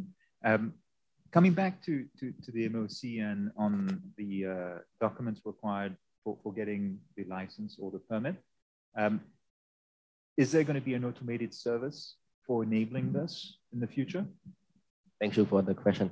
Um, we now we have the, the, the website that everyone can go there and then get the document, get the uh, our uh, legal document and even the, the application form there. They can fill in the application form there, but uh, we don't have the full automation system yet. But MOC nowadays is working on this one. Uh, maybe at the end of this year, 2000 uh, December or early of 2023, we will have a full automatic system that uh, everyone can go there, go to the website, register, payment, and get the certificate online. And we even uh, working with the, the Ministry of Finance, with the uh, registration platform team, CamDX, and we're gonna be there in the phase three as well. So in phase one, we have um, Ministry of Commerce, GDT, and Ministry of uh, Labor in phase one. And then phase two, we have many, many uh, uh, ministry in the phase two. And phase three, uh, now we are working with them to have uh, e-commerce license also inside the phase three. So uh, later on will be uh, on one platform to get the license. Yeah. Okay. Um, a question for you, Your Excellency. Um, one of the uh, complicated parts for um, reporting VAT, especially if it's uh, an e-commerce transactions, which is a B2B transaction. Um, up to now, is my understanding correct that that transaction has to be paid via the same bank account that has been registered for tax purposes by uh, the, the one paying the taxes. Is, is that correct? Um, thank you for your question. This is, uh, I think, this is a key issue. Uh, actually, we know the complaint from the the non-resident uh, taxpayer about the the verification of the payment, whether when they provide the bank account and TIN number, after that, the, the purchaser they can pay uh, through the uh, employee the visa card and others the credit card. They don't pay through the company bank account. How the company the non-resident supplier can verify whether the payment is through the bank account or not uh, based on our law uh, regulation actually we mentioned about that but for this issue we agree with the, the complaint, we will issue instruction. Uh, currently issue already or not yet? Not yet, but actually uh, our team trusts the regulation already instruction. Allow the company, they can pay through uh, the uh, Visa card and others the uh, account, but the obligation the purchaser as a assessment taxpayer must provide TIN number and bank account of the company. They can pay uh, through the employee bank account and then after that reimburse to the employee is, is to help the, the taxpayer more easier. But in our existing uh, regulation, actually they mentioned clearly they must place order uh, and must give the uh, TIN number and the bank account and pay, must pay through that bank account. But we will change our instruction. We issue the new instruction to, to compromise, to help the taxpayer uh, easier to pay tax because the most of the uh, non-resident supplier they, say that they have no system to verify whether they pay through the company bank account or not. So they say that if they, they can verify, they must use the human. If the system cannot, they don't have systems like that. So to compromise or to help taxpayer to pay tax easily, we will uh, change. We will issue a new instruction to allow the, the, the non-resident supplier to not to charge VAT if they supply digital goods or services to the purchaser who provide two important information is TIN number and bank account of the company.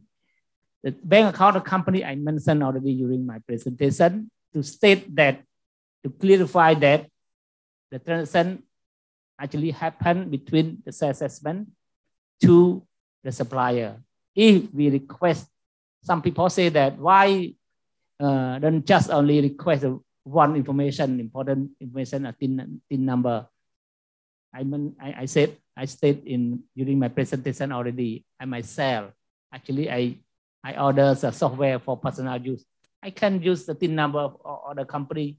I can use a clean uh, company TIN number or others uh, company TIN number. Place order. Finally, who responsible VAT?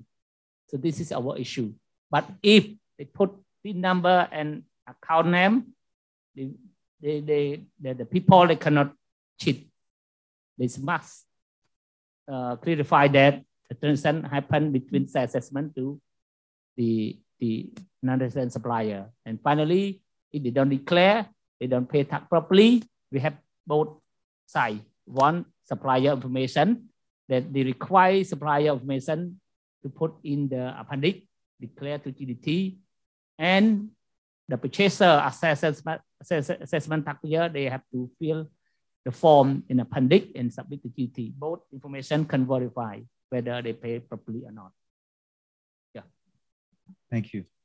So one question for Clint, because right now we haven't really asked any questions for Clint, so we, we need to find one for him. So um, this is this is one which which sometimes is, is complicated for um, marketplaces. Marketplaces which we sell other products, like we're talking, you know, things like uh, Foodpanda or Nham24 and so on.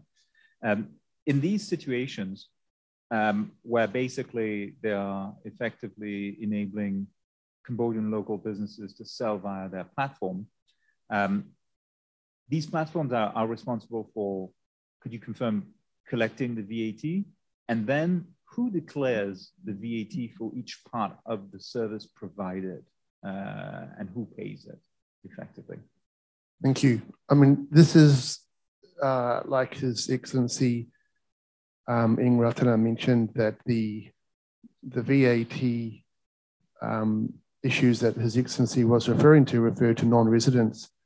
But what your question is referring to comes back to the uh, domestic law in Cambodia, the standard law on taxation, tax on income, prakas. So if we have the Nham24 example, where you have a, a food supplier who's supplying via Nham24, and typically Nham24, they may receive their revenue by some type of commission. Um, the, the food retailer, if you like, they are responsible for the VAT on their sales. They are responsible for the corporate tax on their sales. Uh, 24 are responsible for the VAT on their commission, and they are responsible for any other taxes on their on their commission also. So it's a bit different to what His Excellency was referring to with a platform provider for a non-resident who has to collect on behalf of non-resident suppliers. Here we're dealing with the domestic law in Cambodia, which applies to, to all taxpayers who operate in Cambodia. Okay, understood. Thank you for, for, for, for that one. Um,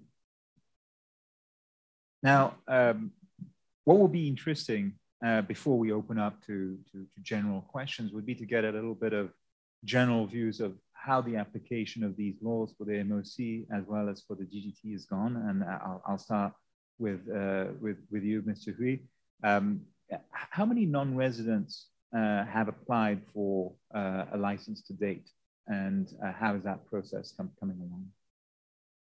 So, um, as I have mentioned earlier, uh, either resident or non-resident, they have to uh, set up a legal entity here.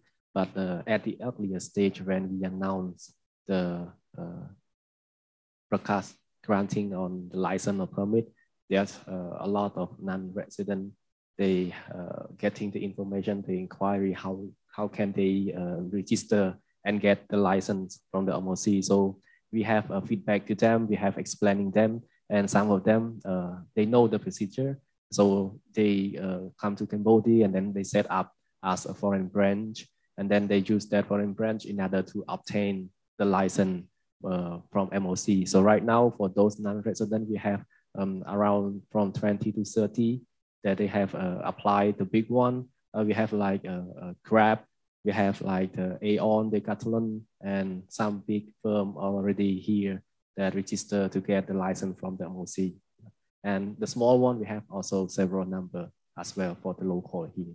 Yeah. Okay, and that takes me to my next question, still still with you, which is basically the the the, the deadlines for uh, the registrations ha have been extended in, in in the past. I think they've been extended to the first of July. Um, are we going to get a further extension? Um, for the extension, extension here, uh, we have extended like three times already. Uh, three three times for one time we extend three months, so almost uh, uh, nine months already that, that we have extend. And during that period of extend, we have conduct the workshop so that uh, to get the public awareness, especially like what we have done today. So everyone here can go back if you don't have your own business online, but you have your family, you have your relative, or you have your client that are doing the business online that fulfill the requirement that stated in our sub decree that need to apply for license, please forward the message to them that our deadline will be on 1st July 2020, 1st July, like the next 10 days. And uh, with the opinion of our top leader, when they, when they release the third delay announcement. We will not going to do another delay. So it should be the last time delay announcement on this one. So uh, you have only 10 days left for delaying the penalty. So starting from uh, 1st July 2022, we will uh, put the law into practice and we will observe all on the platform, on the online. We have the team tracking so every day we have a team to tracking down which application form, I mean, which application online they, they sell on Facebook, or either they have their own application that they don't come to get the license yet. So we have the list of that. After the date, we will drop that list down and then we will uh, directly to the, the company or to the, the, the place that they sell. Thank you. Thank you for your answer. And, and Your Excellency, can you give us a little bit of an idea of how things are coming along on, on your side of things from the GDT point of view? Thank you. Uh, for GDT, GDT point of view, we currently we set up the uh, a group of people to overlook the transaction through internet. If they have transaction to Cambodia, they don't register. Uh, GDT can invite them or if they don't come, as I mentioned already, we register unilaterally and we do tax assessment based on information that we have. Because if they uh, uh, supply to uh, the register company, we have information when they file tax return, we can combine those information and we calculate whether they have turnover more than threshold or not. If they have turnover less than threshold, no need to register. But if they have turnover more than threshold, we can invite them to come to register. So far, the company come to register uh, more than uh, 44 already and pay tax. It's at the beginning stage, only first month of the implementation, they pay tax um, around uh, 4, 4 million US dollar. But uh, the newcomer, they come uh, every day. And some, they don't know the Cambodian market yet, that now they start to know, as I mentioned already, the this emerging market for Cambodia. If they have, we have, if there is no pandemic COVID-19, I think also they have no pandemic e-commerce to Cambodia also. So because uh, uh, uh pandemic, uh, COVID-19 pandemic, that's why people in Cambodia know e-commerce. So they come, uh, more, com- more and more company come to to have transaction with the Cambodian people as well as the company.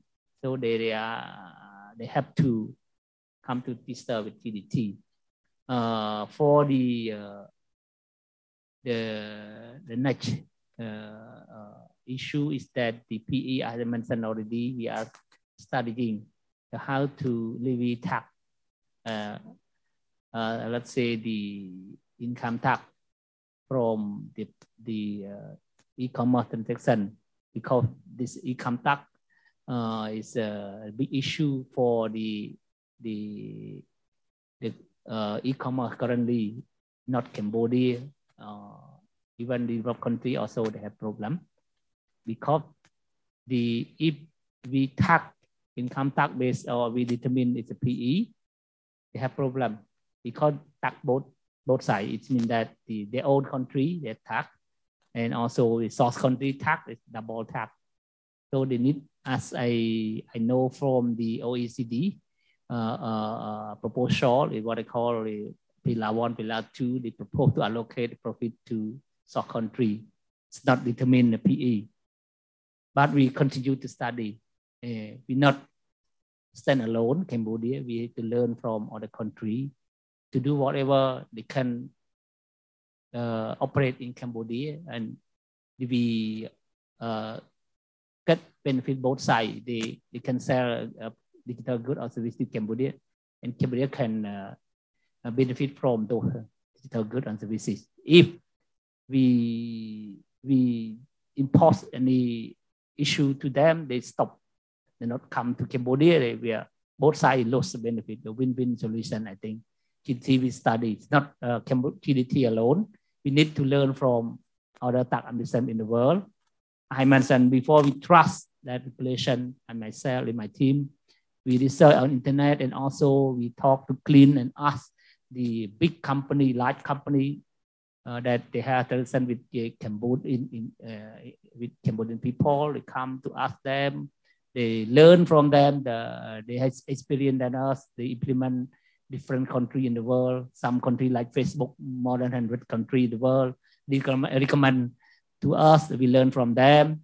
That's why for we, we change. That's why I show on the, my presentation the, the PRCA interaction issue uh, three or four times because when we know the problem, we fix the problem by learning from the, the recommendation of, uh, from the taxpayer as well as from the administration different country. Thank you. Thank you. Um, one question from uh, people online. Um, a foreign company is selling cybersecurity software online. Is that company considered an e-commerce company when it's selling to a Cambodian uh, buyer? Me? Um, to, to Mr. Huy. Okay. Thank you. So um, the foreign company that sell software to, to our uh, Cambodian citizen consumer a consumer. So uh, very short question. Yeah, he need to apply for license because they have the transaction inside Cambodia yep. from outside. So either uh, goods or services. Okay, perfect. At the for GDT also for tax support also, as I uh, stated in my, my presentation, the orders, supply, delivers online. Is offline? No e-commerce. E-commerce must be online. It's the supply, orders, supply, and deliver products through online. And only intangible for tax purpose. This is for local also. We apply the same rule, but for local, we have to comply. The law have been implemented long time. It's as a PE or register company. But for, for e-commerce uh, taxation, I mentioned this morning, it's only non-resident who have no PE or who have no uh, the register, not register in Cambodia as a company or uh, a corporation or the, the, the branch office. When they have the branch office, a place of business activity, business premise, we consider as PE, permanent establishment. When we consider a permanent establishment for tax purpose, they have to comply the law on taxation have been implemented long time. They have to declare everything, income tax, everything, salary tax and withholding tax, uh, benefit tax, and especially they, they have to carry book account, accounting book properly, accounting record. But for non-resident, we register a simplified VAT registration. We not require them to uh, carry accounting book according to our law because they stay outside Cambodia. The body outside, the hand also not put in Cambodia. If they have brand, it means that they put the hand in Cambodia, they tap on the, the hand. But for the, the register as a simplified, simplified registration, the body outside, the hand and outside. Yeah, they not come to Cambodia. They sell through online. No PE. Yeah, but in the future, as I already mentioned, we learn from other countries as proposed by OECD. We try to tax uh, some part of income tax, but based on the proposal, proposal of the OECD, the allocation. But in, in some country like the India, they, they apply the what they call the uh, equalization tax. They determine how many percent have to pay in into a D as income, like income tax, but uh, they assume how, how many percent, but they don't require to have the accounting record properly because they don't have the business premise in Cambodia, Cambodia, they have no PE. How can they uh, have the accounting record in Cambodia? This is the, the big problem. But for, for OECD uh, proposal, they allocate the income tax to the source country. We, learn, we will learn together. Uh, not we are alone. We learn from other countries in the world. Okay, thank you. Thank you very much, Your Excellency. Um, we have a subsidiary question on the Nham 24 case uh, question um, we discussed with, with Clint. And uh, I'll just read you the question. It's a bit long. Um, regarding the response by Clint on example of Nham 24, that it earns only the, com the, the commission and thus it pays only VAT output on the earned commission. Does the rule on agent principle apply here? Oh, that's a very good question. And I think uh, His Excellency Eng Ratana wrote the Praka on agent principle in Cambodia. So um, I, and I will defer to His Excellency, but as far as I understand, um, if you have an agent principal relationship within Cambodia, then there is a registration requirement with the GDT under the agent principal PRACA.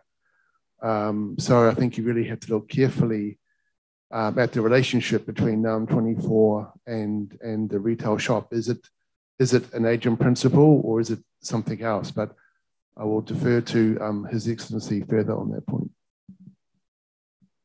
Thank you, Mr. Clint. Refer, refer the question to me. Actually, uh, the prakas on the essential and goods and services is uh, apply only uh, local transactions, not across the border. If the the uh, any company, any supplier who appoint the agent, and they really recognize only local sale and across the border. Across the border cannot be a agent sell goods or services because we don't know how to verify whether uh, the uh, principal and agent are declared tax properly or not. In local transaction, one side declare and second side declare, and we can verify whether the principal agent declare tax properly or not. But for across border, we not allow as it can sell goods and services based on a our regulation currently.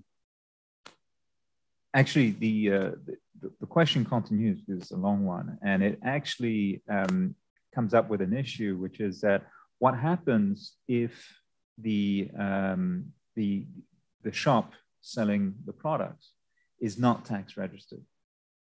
Um, in which case, both one of the two parties in the agent principle are not tax registered. What what happens at that point? Does you know the uh, the platform need to collect uh, VAT uh, and charge other things? How, how, would they deal with that? You mean that the uh, non-resident uh, supplier platform or? so, so for example, the in the example of, of Nham24, let's say that the, the, the, the restaurant uh, for which they're selling stuff on Nham24 is not tax registered. Ah, NAM20, uh, uh, uh, so it's a local transaction. The lo local transaction, they have to register and comply uh, law our law and regulation. Okay. Yeah, not the e-commerce uh, transaction based on our regulation that we we mentioned this morning.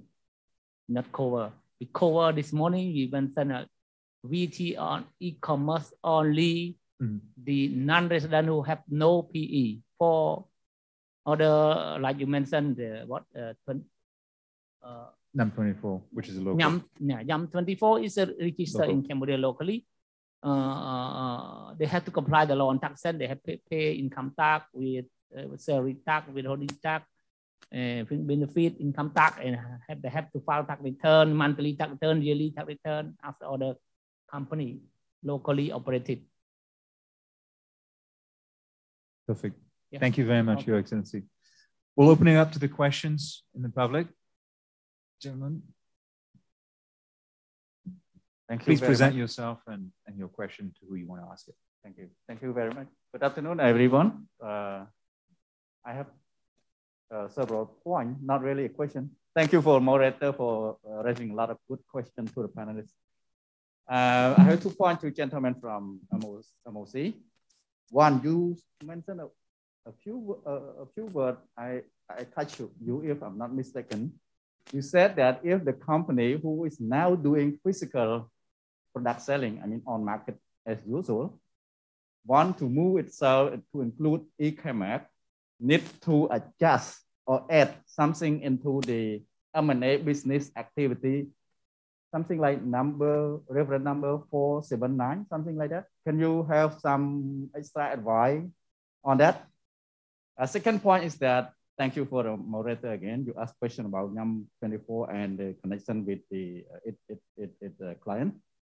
If a company currently engaged with Nham 24, uh, what is the role or the application of the company that use the platform of Nham, Nham 24 to ensure that that company is, is, uh, is uh, compliant with regulation. Notify that the payment is not made through 24. The payment is made directly, the transaction made directly to the company, except purchase order made by the platform of Nham 24. That's two points to gentlemen from MOC. Couple of points to Excellency uh, Ratana from GDT. I, I, would like to pick up this exact case happened in Cambodia.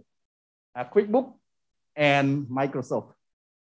The company in Cambodia have been purchasing and using QuickBook and Microsoft, including uh, monthly maintenance fee. So the question is that need, need your advice and require, including uh, require action. Does the company need to do the 10% what reverse? And that from when? From the time that the company purchased those uh, online, uh, those uh, uh, digital service or what? Thank you. Sorry, I'm Sambat from Apathy Food. Sorry, moderator.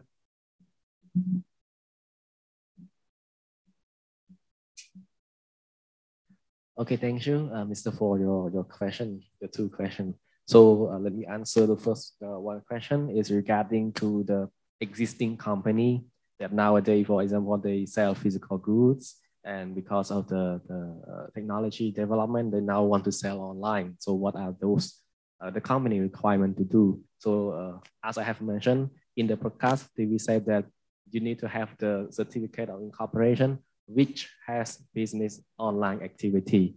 So to have to comply that requirement, so you need to make your change on your, your memorandum of article association with the Ministry of Commerce.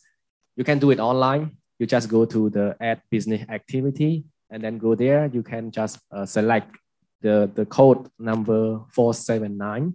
So that code is the code that uh, doing the business online activity.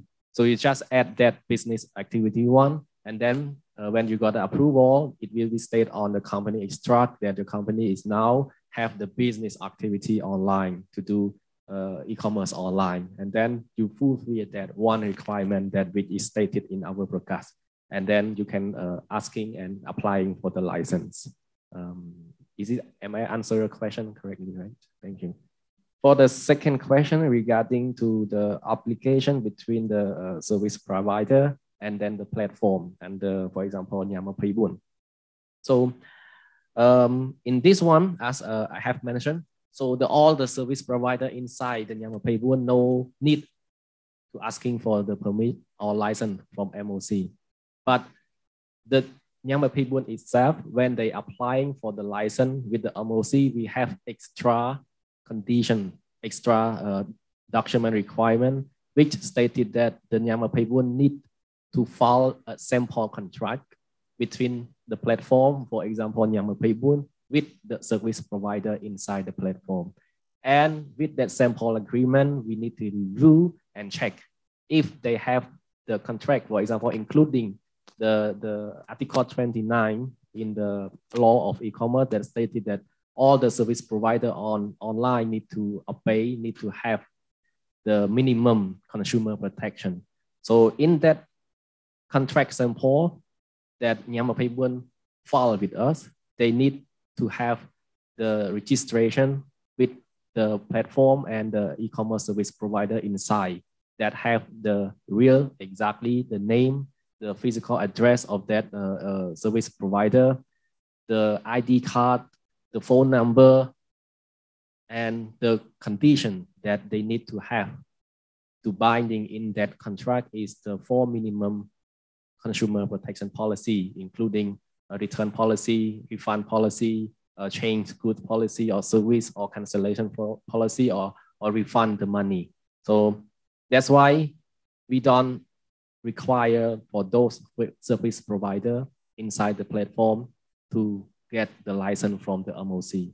So as the, the Myanmar Payboon, they have the burden, they have the obligation to control the service provider inside their platform itself.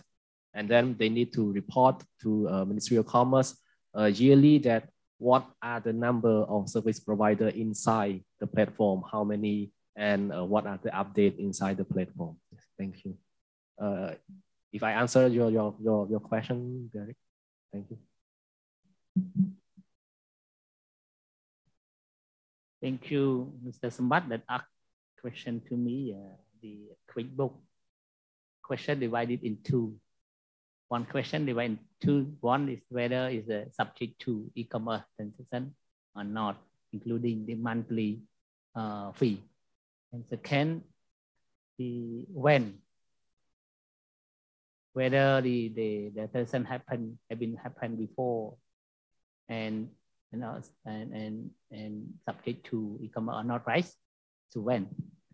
So the first question uh, answer amount two is the QuickBook is uh, the e-commerce. Because you change your uh, service render or you uh, they supply service through internet is the e-commerce transaction.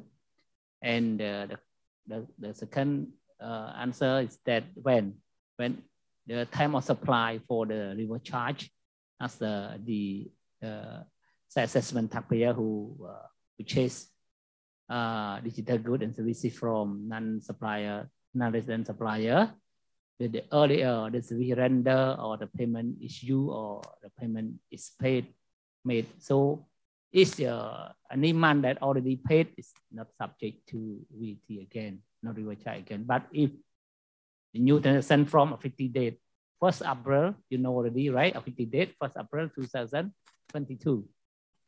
So if suppose, uh, supposedly some service you pay in advance, you pay already, you don't need to pay uh, uh, some more additional because the let's say you pay QuickBook for one year and you pay on January already for year 2022. So kind of uh, at that time, the first April is not implemented yet. Now, 50 days we, de we delay or postpone to 1st April 2022. If you pay for the service render 2022 full year, you don't need to pay, apply the charge again. But if you have any new transaction, incur starting from 1st April 2022, you have to apply the charge and pay the utility. And at the same time, you can claim input tax also for the month the transaction incur. You okay? No, yeah, yeah. Thank you very much. Any further questions? The lady?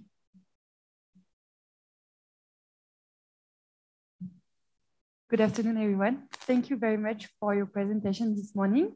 So uh, my name is Constance Rossi. I'm the Business Development Manager of Zuellig Pharma Cambodia.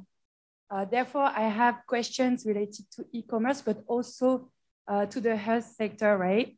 So the first one being, um, for a company registered in Cambodia, how long does it take to receive the license?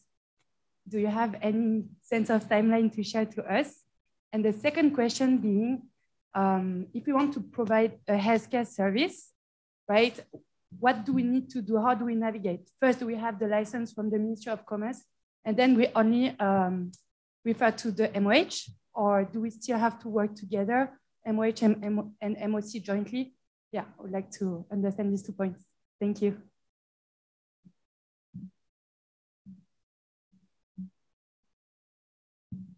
Okay, thank you for your question. Uh, so I just recap the, the, the question again. So if I, answer is correct or not. So your question is that um, you want to asking for the how long that you're gonna register a company in Cambodia or how long you, you, you want to know that how long you register for license for the e-commerce? So in the case of uh, license for entities, Okay, for okay. already registered company in Cambodia. Okay, thank you. Yeah. So um, inside the prakas, we also mentioned that uh, for the process of the application, when you put, you, you place the application to us, we have 10 working days to answer back, either, either that uh, we need more further information from, from the company or we asking you to take the certificate from us. So the working day for, for entity to, I, to obtain the license is 10 working days. And the license is last for three years that uh, you can uh, extend at the end of the period. And the second question is regarding to the Ministry of, uh, uh, if you are working on uh, business in relating to the health, even though either that you need to obtain the license from uh, first or Ministry of Health first. So uh, I want to clarify this one first. So you are existing company. So first you register company with MOC, uh, GDT, and uh, other related ministry according to your business objective. So if you are on health, I think uh, when you firstly register company, you need to get the license from the MOH. But either you are consulting offline or online, it's different uh, story. So when you obtain the license from MOC, uh, GDT, and uh, MOH, so now you can uh, officially legally, for example, uh, health consultant. So you can set up an office, a clinic. You can receive the patient, and then you do the health checking by having the customer. But you want to move your business to online because consultant on health, you also can uh, uh, do it online as well. So to add the extra business objective on online, you just exceptionally just asking for the license from MOC, and then you can do it online because you have your basic license already. Yeah, thank you. Okay, thank you very much. Thank you. One last question from the crowd. No? Okay, well, thank you very much for your time. We realize that we've uh, gone a little bit longer than what we uh, expected. So I guess it reflects the interest in, in the topic. So please join me in thanking uh, His Excellency uh, Dr. Eng Ratana, as well as Huy Bunchay and Clint O'Connell from DFDL for being wonderful panelists for today's session. Thank you very much.